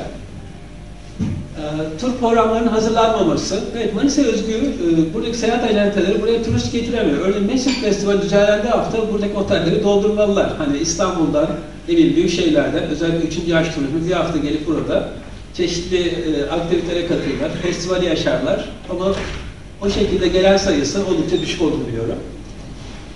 E, tanıtım faaliyetleri, evet. Kokar'da turist rehberi yok Manisa'da fazla, bu sıkıntı. E, hediyelik eşya eksikliği, bununla ilgili çalışmalar yapıldığını biliyorum. E, hatta benim odamda var. Hani Manisa'nın el, el sanatlarıyla ilgili çeşitli e, Zafer Kalkınma Ajansı'nın desteklediği projeler var. Ama hayata geçmiş böyle bir güzel kaliteli e, Manisa'ya özgü el sanatları bir şey alabileceğiniz bir yer e, fazla yok. Hani son yıllarda san, sanırım e, ne Han'da, e, Yeni Han'da galiba birkaç dükkan var. Ama yani Koşunan'da evet. Orada gelişmeye ihtiyaç var. Evet Ermiş Bey siz de daha sonra şey yaparsınız, düzeltmeler, eklemelerle. evet, kurumlar arası işbirliği, koordinasyon bence bu en önemli eksiklerden biri. Aslında ben bunu hepsi yazsaydım, şimdi okurken farkına. Yani burada turizmle ilgili bazı şeyler yapılıyor ama belli bir koordinasyon yok. Mesela ben yıllar evvel Sipil'in yukarısına çıkmıştık. Orada spor ve sağlık oteli yapılacağını duydum. Mesela ben onunla ilgileniyorum ama hatta ben ona sordum grupta gezerken diğer, biz de yeni duyduk falan dedi oradaki otel müdürleri arkadaşlar. Hayal.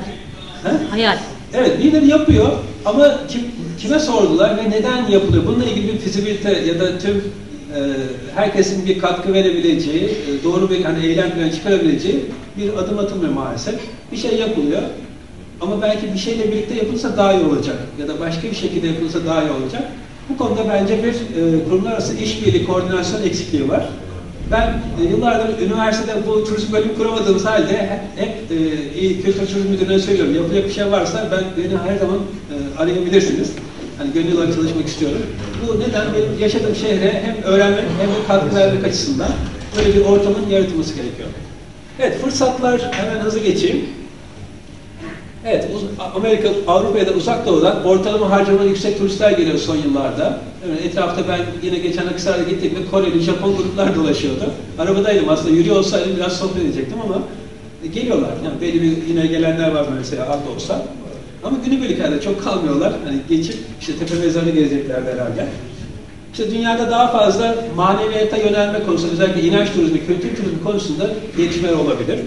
Evet, ulaşım imkanları artıp evet, ucuzlaması, ortalama yaşam süreleri artması insanları daha fazla seyahate teşvik ediyor.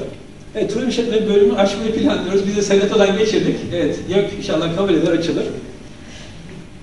Ee, evet, yine turizm paydaşları bir araya gelerek plan politika belirleme çalışmalarıyla ilgili e, benim de içinde olduğum özellikle e, Manisa, Mantit, e, Manisa Turizm İşletme Derneği ile ilgili son aylarda çalışmalar var. İnşallah bunlar artar yine. Evet, tabii tehditler de var burada turizm gelişmesiyle ilgili. Çevre ülkelerde savaşlar, işte bir anda her şey değiştirebiliyor. Yine göç ve mülteci akını ya da terör olayları olduğu zaman hani turizm faaliyeti etkileniyor. Ee, restorasyon çalışmaları da evet yine bazı yapılan yapıların orijinalliği bozulabiliyor. Buna dikkat etmek gerekiyor. Hani o şeyi gelecek zamana taşımak açısından. Evet, ekonomik istikrarsızlık, enflasyon bunlar olabilir. Evet yine e, turizm faaliyetlerinde özellikle turizm ya da hizmet eğitimi almış e, personel ihtiyaç var. E, bunlar olursa bir fark yaratabiliriz. Hani kalite ortaya çıkabilir. Ama öncelikle e, yani müşteri memnuniyeti sağlamak. Hani iyi personelimiz olursa bu işi bilen e, o zaman müşteri memnuniyeti sağlayabiliriz. İnsanlar başkalarına tavsiye eder, tekrar gelirler. Evet sonuç olarak birkaç e, şeyle bitecek olursak Evet bir eylem planı hazırlanması gerekiyor. Az önce biraz da işaret ettim. Hani belli bir e, çalışma grubu bir araya gelip e, gerçekten doğru atılması gereken adımları belirleyip ve belli bir sırayla ya da belli bir önemle bu yapılmalı.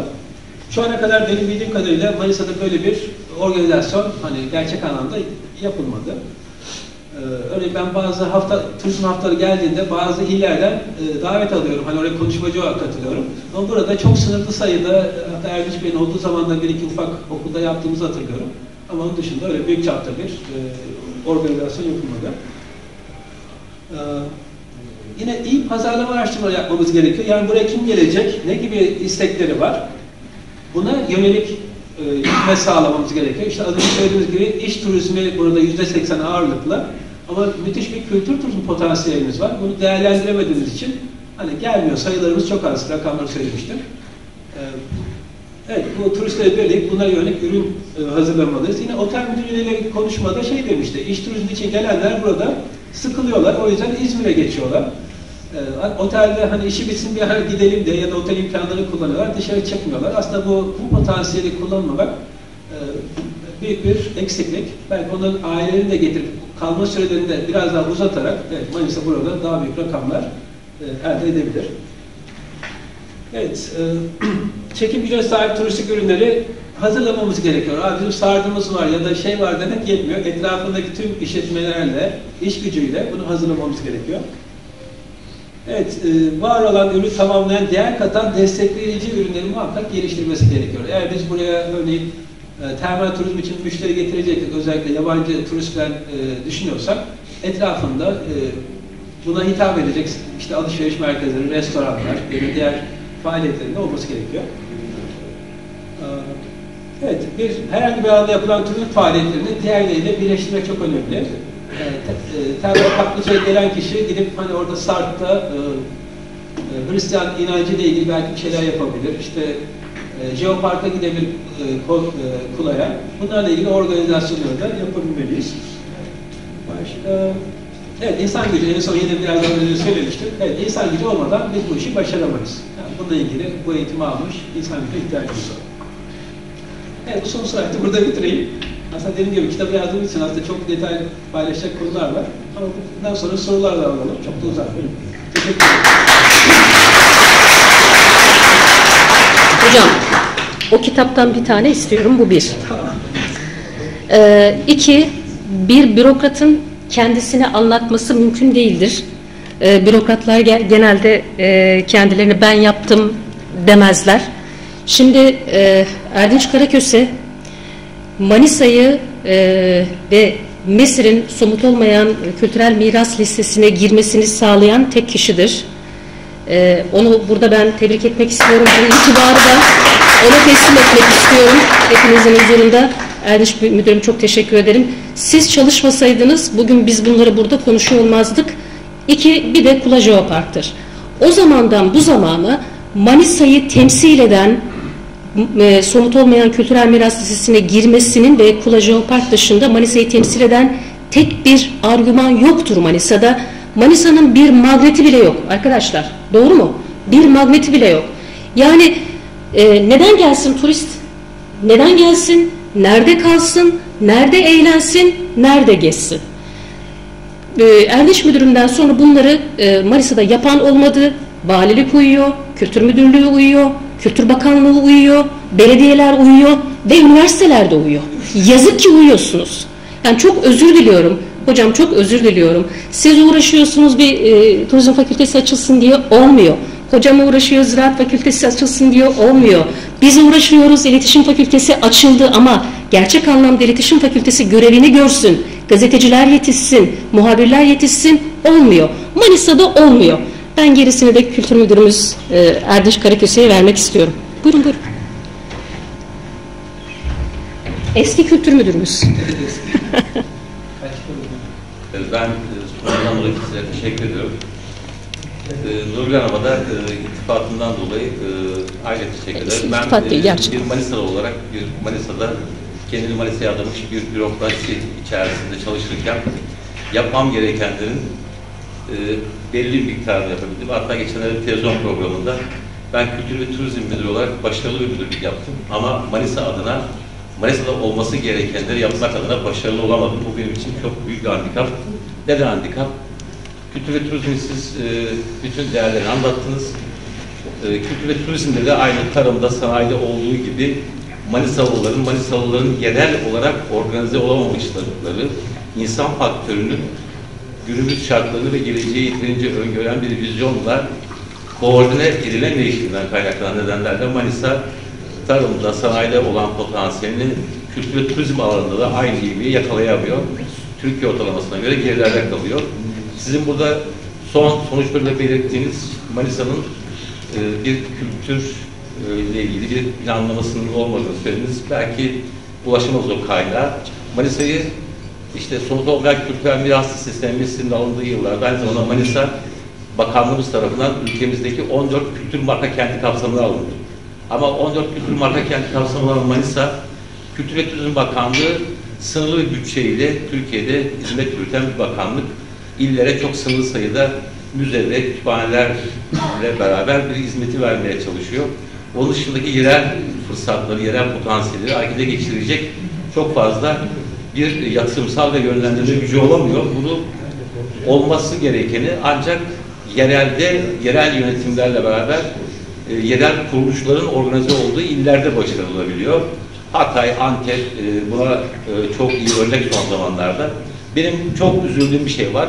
Adana e, Portakal Çiçeği Festivali, bizim Nesli Festivali'nden e, yani daha 10-15 yıllık bir geçmişi olan festival ülkemizde çok daha fazla ilgi görer bir duruma geliyor. O ilgi gelen durumda Adana'dan her gün televizyon kanallarında, e, sosyal medyada bir sürü görüntü izliyoruz. İşte burada hocam ben siz üç hocamıza bugünkü sunum için teşekkür ederim. Sizin e, sunumlarınızdan sonra üç hocama da bir e, istirham olacak. Manisa'da bir yerlerde konuşurken sadece ve sadece Manisa'daki yerel yönetimlere ve yerel kuruluşlara bu Manisa için daha fazla kenarda durmayın. Bu Manisa'ya başka bir gözle bakın çağrısını yapın. Çünkü yerel yönetimler ve yerel kuruluşlar ancak Manisa'nın dinamiklerini alıp hayata geçirebilecek. Manisa turizmde arz sorunu yok, arz potansiyeli var ama sunum yetersizliği var. Sunum yetersizliğini kim, kim sağlayacak? Yerel yönetimler organize edecek, yönetimler harekete geçirecek. Ben iki örnek fazla vaktinizi almak istemiyorum. Bir tanesi Manisa'nın, eski Manisa'nın bir Bedesten diye bir yapısı var. Fatih Sultan Mehmet'in komutanlarından Rumeli Paşa tarafından yaptırılmış 500-550 yıllık bir yapı. Ben o yapı için Kültür ve Turizm Müdürlüğü görevi yaparken tam 8 yıl uğraştım. 8 yıl oranın restorasyonu sağlayabilmek için. Orası tamamen özel mülkiyetlere dahildi. Bir bölümün ticaret sanayi odamız ve diğer borsa, Mesir Derneği, e, esnaf gibi kuruluşlara satın aldırılarak, diğer dışarıda kalan özel dükkanlara e, destekler, düşman destekler sağlatarak, özel aramızın katkılarıyla burasını restore edip hayata geçirmeye çalıştık. Tam 8 yıl sürdü. 8 yıl sonra restorasyonu bitirdik. Bu süreçte de ben Kültür ve Turizm Müdürüyken Kültür Marka eylem planından alındığında birçok çalışmayı da hazırlamaya çalışıyorduk. Manisa hediyelik eşyada Manisa markası projesi adıyla Manisa'da hediyelik eşya olabilecek Manisa'nın sembol değerlerinin, şeylerinin bilim adamları, bizim üniversitemizdeki bu konudaki uzmanların da katılımıyla hazırladık. Dedik ki Bedesten'i bir Manisa'nın yöresel ürün çarşısı yaparız. Manisa'nın tarihi, kültürel değerleriyle sembolize olmuş hediyelik eşyalarıyla bir de yöresel ürünlerinin de satıldığı bir arası çünkü orası. Onu yaparız diye beklerken Düğün tam, salonu. bede, tam Bedesten'i bitirdik. Ben o yıl görevden Ankara'ya alındım.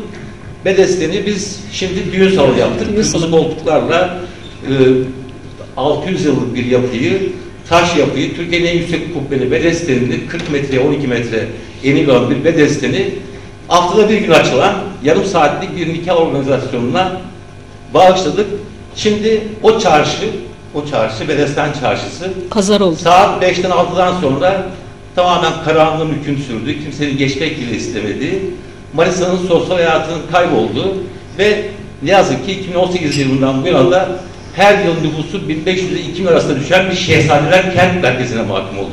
Oysa o Bedesten Manisa Yöresel Ürün Çarşısı olarak akşam saat 12'lere 1'lere kadar hizmet veren bir yer olsa, şu anda pazar olarak kullanan yer haftanın her günü Manisa'nın yöresel ürün pazarı olarak kurgulansa ve oradaki çarşı esnafı da peyderpey buraya adapte edilerek bir tarihi çarşının yaşanılır bir haliyle mekanı, iş içme mekanı, satış mekanı gibi kurgulansa iki yıl içerisinde Manisa'nın tarihi çarşısı sosyal hareketliliğiyle, ekonomik hareketliliğiyle zengin bir merkez haline dönüşecekken biz bir tercihle, bir düğün salonu tercihiyle oradaki bu bütün ekonomik, sosyal, bırakın kültürel zenginleşmeyi korumayı, ekonomik, sosyal gelişmeyi bile kilitleyip bedesten içerisindeki 300 tane koltuğa bırakıyoruz. Bu nasıl bir vizyondur, nasıl bir Manisa bakışıdır? Ben şaşıyorum, üzü- üzülüyorum. Manisa'nın çok değerleri var her bakımdan ama sunumlara yetmiyor. Sunumları çünkü ancak yerel yönetimlerin gücüyle, yerel kuruluşların ortak organize oldukları katılımlarla sağlanabileceği gerçeği var. Bunu hangi il gerçekleştirmişse? Eskişehir gerçekleştiriyor, binlerce insan gidiyor.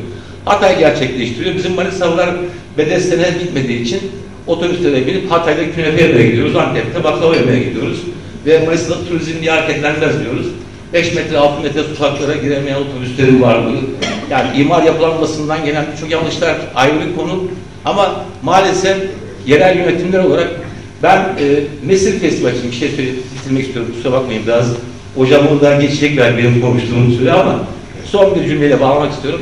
Mesir Festivali tarihteki bizim en zengin miraslarımızdan bir tanesi.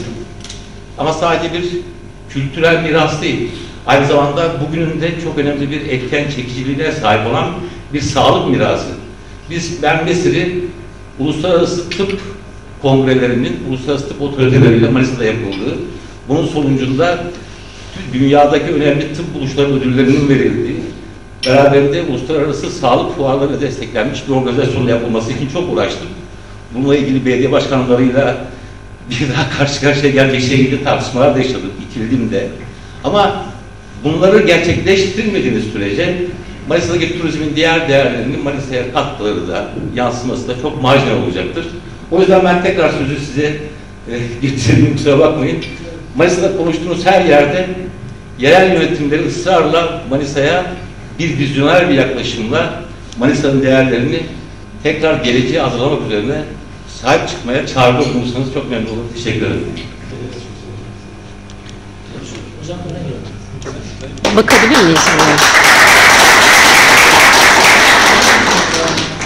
Elinize sağlık. Çok teşekkür ederim. Çok sağ olun. Tamam. E, toplantıyla ilgili e, tabii şey bununla birlikte e, öneriler şimdi belediye başkanları e, aday adaylığı süreci adaylar belli oluyor, netleşiyor. Netleştiği anda onlar gelmeye başlayacaklar. E, o noktada e, yeni gelen arkadaşlar burada olan e, bundan sonra toplantılarda daha verimli olması adına e, başka daha güzel neler yapılabilir e, önerisi olan arkadaşlar varsa e, öneri de alabiliriz. Ama fazla uzatmadan birer cümleyle, birkaç cümleyle var mı önerisi olan? Evet.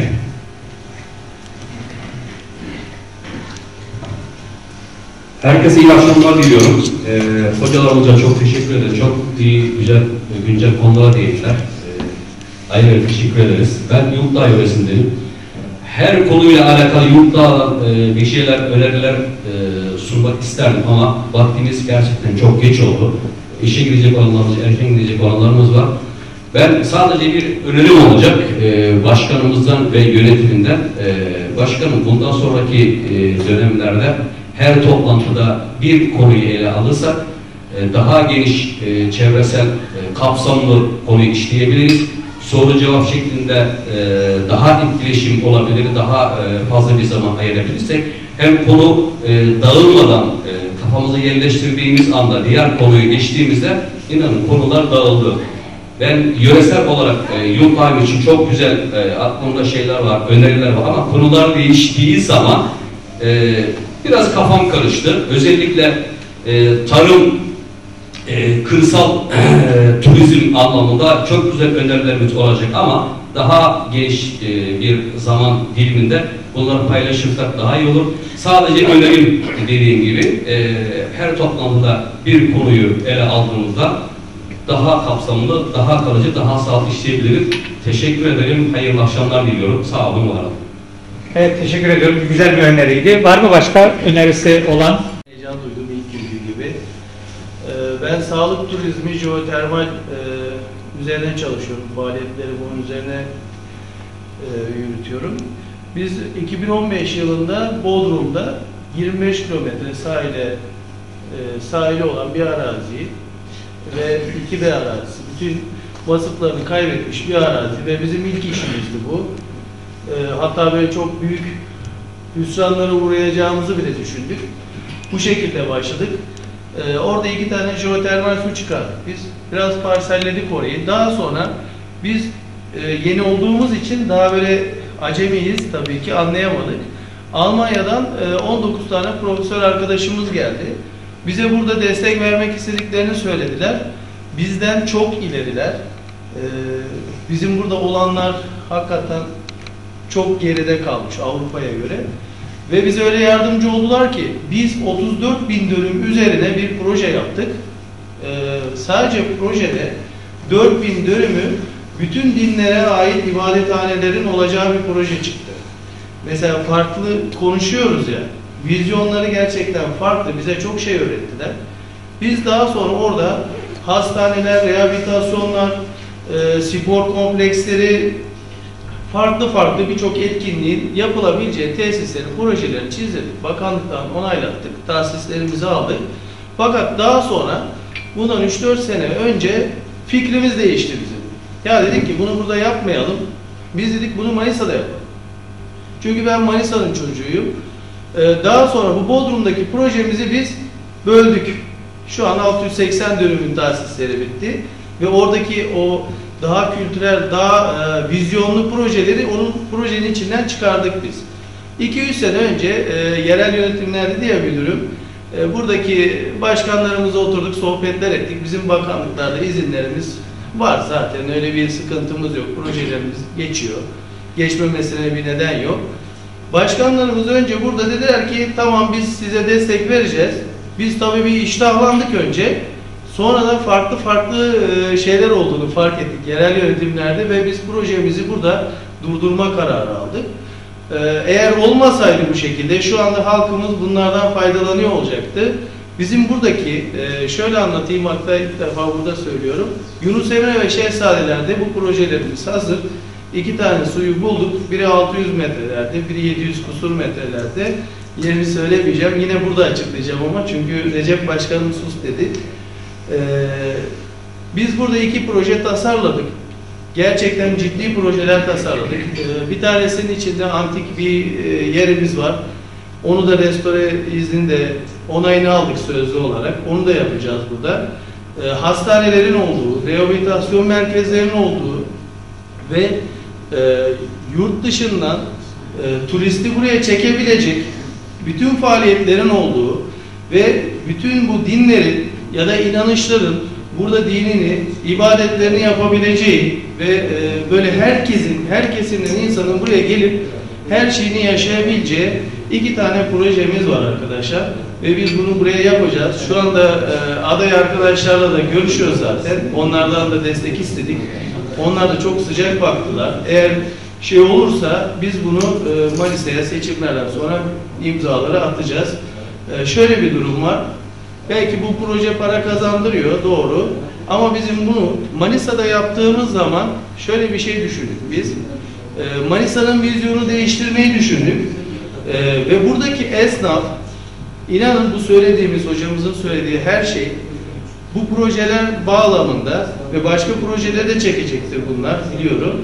Ee, halkımız, esnafımız e, bütün hizmetten faydalanıp ve e, çarşıda dövizin girdiğini gördüğünüz zaman aradaki farkı göreceksiniz. Ufacık sahil kenarları döviz girdiği için adam küçücük dükkanda çok güzel paralar kazanıyor. Bizim şehrimiz buna müsait. Gerçekten kültürel varlıklarımız çok. Biz eğer burada şehrimizin vizyonunu değiştirirsek hep birlikte tabii şehrimizle ilgili başka belediyecilik anlamında projelerimiz de var bizim. Eğer bunları başarabilirsek ben gerçekten bu şehrin adının değişeceğine inanıyorum arkadaşlar ve bunu yapacağız yani. Ben e, hocalarımdan da çok teşekkür ederim. Zaten Murat Hoca öğretmenim benim. İnşallah gurur duyar gün ben de. Ben teşekkür ederim ve bunun devamını da sizlerle paylaşacağım. Teşekkür ederim. Murat Hocam tarımdan bahsetti. Ben de doktora tezimi çiftçilerin sosyal güvenliği üzerine yazdım. Ee, Manisa'da 17 ilçede 86 mahallede 450 çiftçiyle görüştüm. Tabii tarım bitti deniyor bizde ülke. Özellikle eleştirel baktığınız zaman tarım, tarım bitti yok aslında. Tarım bitti dersek çiftçilerimize çok büyük haksızlık yapmış oluruz. Çok ciddi bir tarımsal üretim var. Şunu diyebiliriz, tarım, e, tarımda çözülmeyi bekleyen ciddi sorunlarımız var. Yani bunlarla ilgi göstermemiz lazım. Tabii hocam tarım ekonomisi açısından baktı. Ee, benim görüşüm, bizim e, tarım ekonomik açıdan istediğimiz katma değeri yaratabilmemiz için savunma sanayinde yaptığımız e, işte devletin öncülüğünde Aselsan, Havelsan, Roketsan gibi firmaların devletin öncülüğünde tarımda da tamam var kooperatiflerimiz var ama e, bu katma, katma değeri yaratabilecek seviyede değilse yine topla yaptığımız işi bizim artık tarımda da devletin öncülüğünde tarımda da kabadayılara ihtiyacımız var açıkçası. Tabii sosyal sorun, e, sosyal açıdan baktığımız zaman e, bizim en büyük problemimiz e, parçalanmış tarım arazidir. Ve bu bizim miras sistemimiz bizi bu hale, getirdi. Mesela Fransa'da böyle bir sorun yok. Çünkü Fransa tarım arazilerini ya e,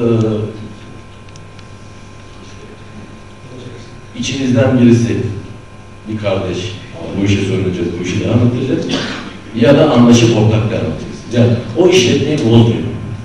Ha, bizde hatalar yapılmış. Artık geri dönülmez diyebileceğimiz kadar uzun sürmüş bir olay ama buradan nasıl dönebiliriz? Toplulaştırma çalışmaları yapılıyor hocam, daha iyi biliyorsunuz. Ama e, başarılı olma ihtimali çok e, yakın gelecekte çok mümkün değil çünkü e, boş arazilerde evet ama ağaç dikili arazilerde bu toplulaştırmalar e, yapılamıyor. Ne yapmamız lazım? Kooperatifleşme burada çok önemli ama bizim yıllardır denediğimiz kooperatif deneyimi başarısız. Burada yine devletin öncülüğünde farklı bir yöntem, belki kooperatiften ziyade şirketleşme gibi bir şey olabilir ama buna farklı bir çözüm bulmak zorundayız. Ee, tabii ben sosyal güvenlikçi, dolayısıyla çiftçilerin en büyük sorunlarından bir tanesi sosyal güvencesizlik. Ee, 21. yüzyıldayız. Şu an tarım sektöründe kayıt dışı çalışma oranı yüzde seksen. Şaka gibi yüzde seksen. Tarım hariç yüzde on beşe düştük ama tarımda hala yüzde seksen. Kadınlar yüzde doksan. Tarım sektörü çok ciddi. Ücretsiz aile işçiliği gibi bir e, durumumuz var. Peki Avrupa neler yapıyor? Ben 10 tane Avrupa ülkesini inceledim. Tarımda çiftçiler için neler yapıyor?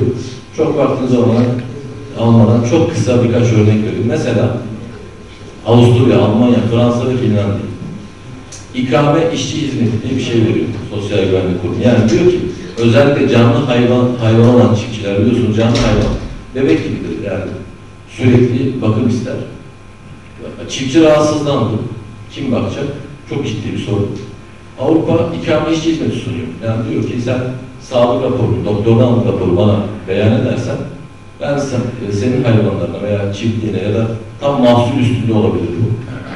İkame işçi gönderdim. Yani bu çok Türkiye'de çok rahat çözebiliriz. Özel istihdam bürolarımız var, iş kurumumuz var. Bu hizmeti çiftçilerimize sunabiliriz. İkinci en büyük, e, Avrupa'nın yaptığı bir diğer şey mesela Avusturya'da özellikle iş kazası sigortasında aile sigortası yapıyor. Yani biliyorsunuz çiftçide bütün aile çalışır. Çocuk çalışır, eş de çalışır. Aile sigortası yapıyor. Herhangi bir kaza meydana geldi. Bütün aile sigorta kapsamına alınmış oluyor. Ee, bunun dışında Avusturya'da çok güzel bir örnek var. Mesela eş öldüğünde çalışan eşe diyor ki eğer benden ölüm ayını talep etmezsen eşinin sigortalı günlerini sana veririm. Ne kadar güzel bir uygulama. Dolayısıyla bizde mesela bu çok gerekli bir uygulama çünkü bizdeki e, kadın yani çiftçilerin eşleri hiçbir sigortası yok. Dolayısıyla çiftçi vefat etme bu sigortaları eşine e, aktarılabilir. Yani devlet isterse her şeyi yapabilir. E, böyle güzel uygulamalar var Avrupa'da. Çok vaktinizi almak istemiyorum. Ama tabii sosyal güvenlik açısından asıl sorun biliyorsunuz eskiden çiftçiler 15 gün üzerinden prim ödüyorlardı. 30 gün e, gün olarak 30 gün kazanıyorlardı. 2023 yılı itibariyle e, Cumhuriyet'in 100. yılında artık o sıfırlandı. Yani şu an e, bir çiftçi esnafla aynı prim ödüyor. Şu an asgari ücret üzerinden aylık 4628 lira. Bunu çiftçimizin ödemesi mümkün değil. Büyük çiftçilerimiz sadece ödeyebiliyor. Benim yaptığım araştırmada net gördük. Alaşehir, Sarıgöl, yüzünden çok güzel paralar kazandıkları için primleri ödemede zorlanmıyor ama bu taraflara geldiğimiz zaman özellikle Gördes, Demirci, dağlık kesime çıktığımızda bu primler ödenemiyor. Devletin e, destek vermek zorunda. Avrupa'da da bununla alakalı çok güzel uygulamalar var. Neye bakıyor? Arazinin birim değerine bakıyor prim belirlerken. Çiftçinin yıllık gelirine bakıyor. Çiftçinin tarlada geçirdiği zamana bakıyor. Bunları bizim de artık değerlendirmemiz lazım. Özellikle küçük çiftçilerin e, priminin devlet tarafından ödenmesi gerekir. Almanya'da yüzde altmışa kadar hibe var çiftçilere. Yani biz bunu yapan Avrupa ülkelerinin e, tarım istihdamı, toplam istihdamının yüzde biri, ikisi seviyesinde. Bizde 2022 yılı rakamlarını söyleyeyim. Hala yüzde on beş. Yani bizim istihdamımızın yüzde on beşi tarımda. Yani burada bizim göz ardı edemeyeceğimiz bir nüfus var.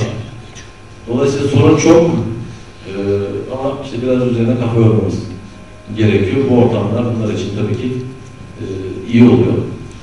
Peki biz neler yapabiliriz? Ben neler yapabilirim? Ben aslında tarım ekonomisti değilim, ziraat mühendisi değilim ama bir çiftçi çocuğu, 52 yıldır zeytinyağı fakülteciliği yapan bir ailenin oğlu.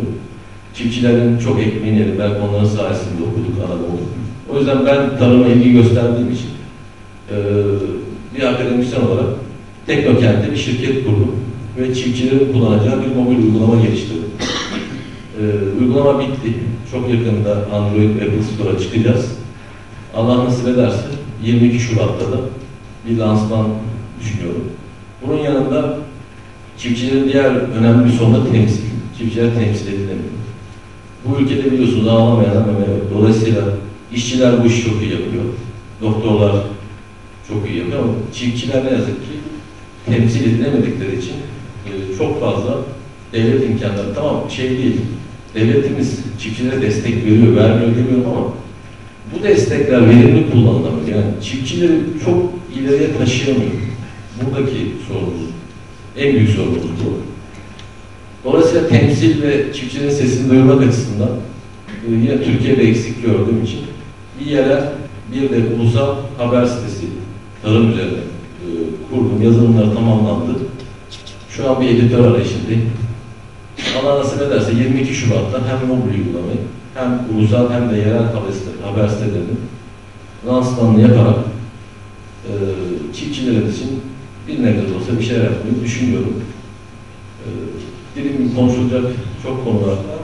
Sosyal sorunlar çok fazla. Yazılım, yazılımı kısaca anlatır mısınız? Ne yapacak yazılımda? Yazılım şöyle bir şey olacak. Ee, çiftçilerimiz ücretsiz üye olacaklar, bireysel üye. Bir de kurumsal üyelerimiz olacak. Kurumsal üyelerimizde tarım sektöründe mal satan, mal alan, hizmet sunan tüm firmalar. Bunlar zirai ilaç bayisinden gübre bayisine, damlama ilaçlamasından elektrikçisine, drone ilaçlamasına, veterinerine, aklınıza gelebilecek herkes. Dolayısıyla çiftçi herhangi bir hizmeti pek çok tabii 8 modülden oluşuyor uygulama. Yani işte hava durumundan donu yarısına, çiftçiler arası forumundan, iş bulma, işçi bulma. Yani diyelim ki çok iyi budakçısınız, zeytin budanır yazıp ilan verebileceksiniz. Veya ikinci el bir aleti satmak istiyorsunuz, fotoğrafını çekip uygulamaya koyabileceksiniz. Bunlar haricinde işte yine bir ziraat mühendisi bulabilirsem bulurum. Daha dediğim gibi çok e, yeni. Ona zeytin yetiştiriciliği, kiraz yetiştiriciliği gibi e, bunlar olacak. Ama en temel e, özelliklerden bir tanesi de şu olacak. Diyelim ki siz çiftçisiniz. Drone ile ilaçlama yaptırmak istiyorsunuz ve tanıdığınız bir firma yok. Kahvede oturup çayınızı içerken sadece 3 tıkla yani teklif iste, drone ile ilaçlama gönder dediğinizde bizim sisteme kurumsal üye yaptığımız drone ile ilaçlama firmaları, firmalarına bildirim gidecek. Tabi uygulama fonun bazı çalışıyor. 50 kilometre çapındaki firmalara bildirim gidecek. Örnek veriyorum işte Sabahanlı Gümülce'den drone ile ilaçlama teklifi talep. Teklif vermek ister misiniz diye. Firma evet dediğinde karşısına çiftçi iletişim bilgisi gelecek. Direkt aracı çiftçiyle ticari temas kurabilecek. Bunun dışında yine özellikle firmalara cazip gelmesi açısından örnek veriyorum herhangi bir gübre bayi, gübrede diyelim ki indirim kampanyası başlattı. Ee, işte şu kadar indirim kampanyası başlamıştır. Tüm çiftçilere duyurulur, gönder dediğinde 50 kilometre çapında tüm çiftçilere bizim sistemimiz duyuyorlar. Bildirim gidecek.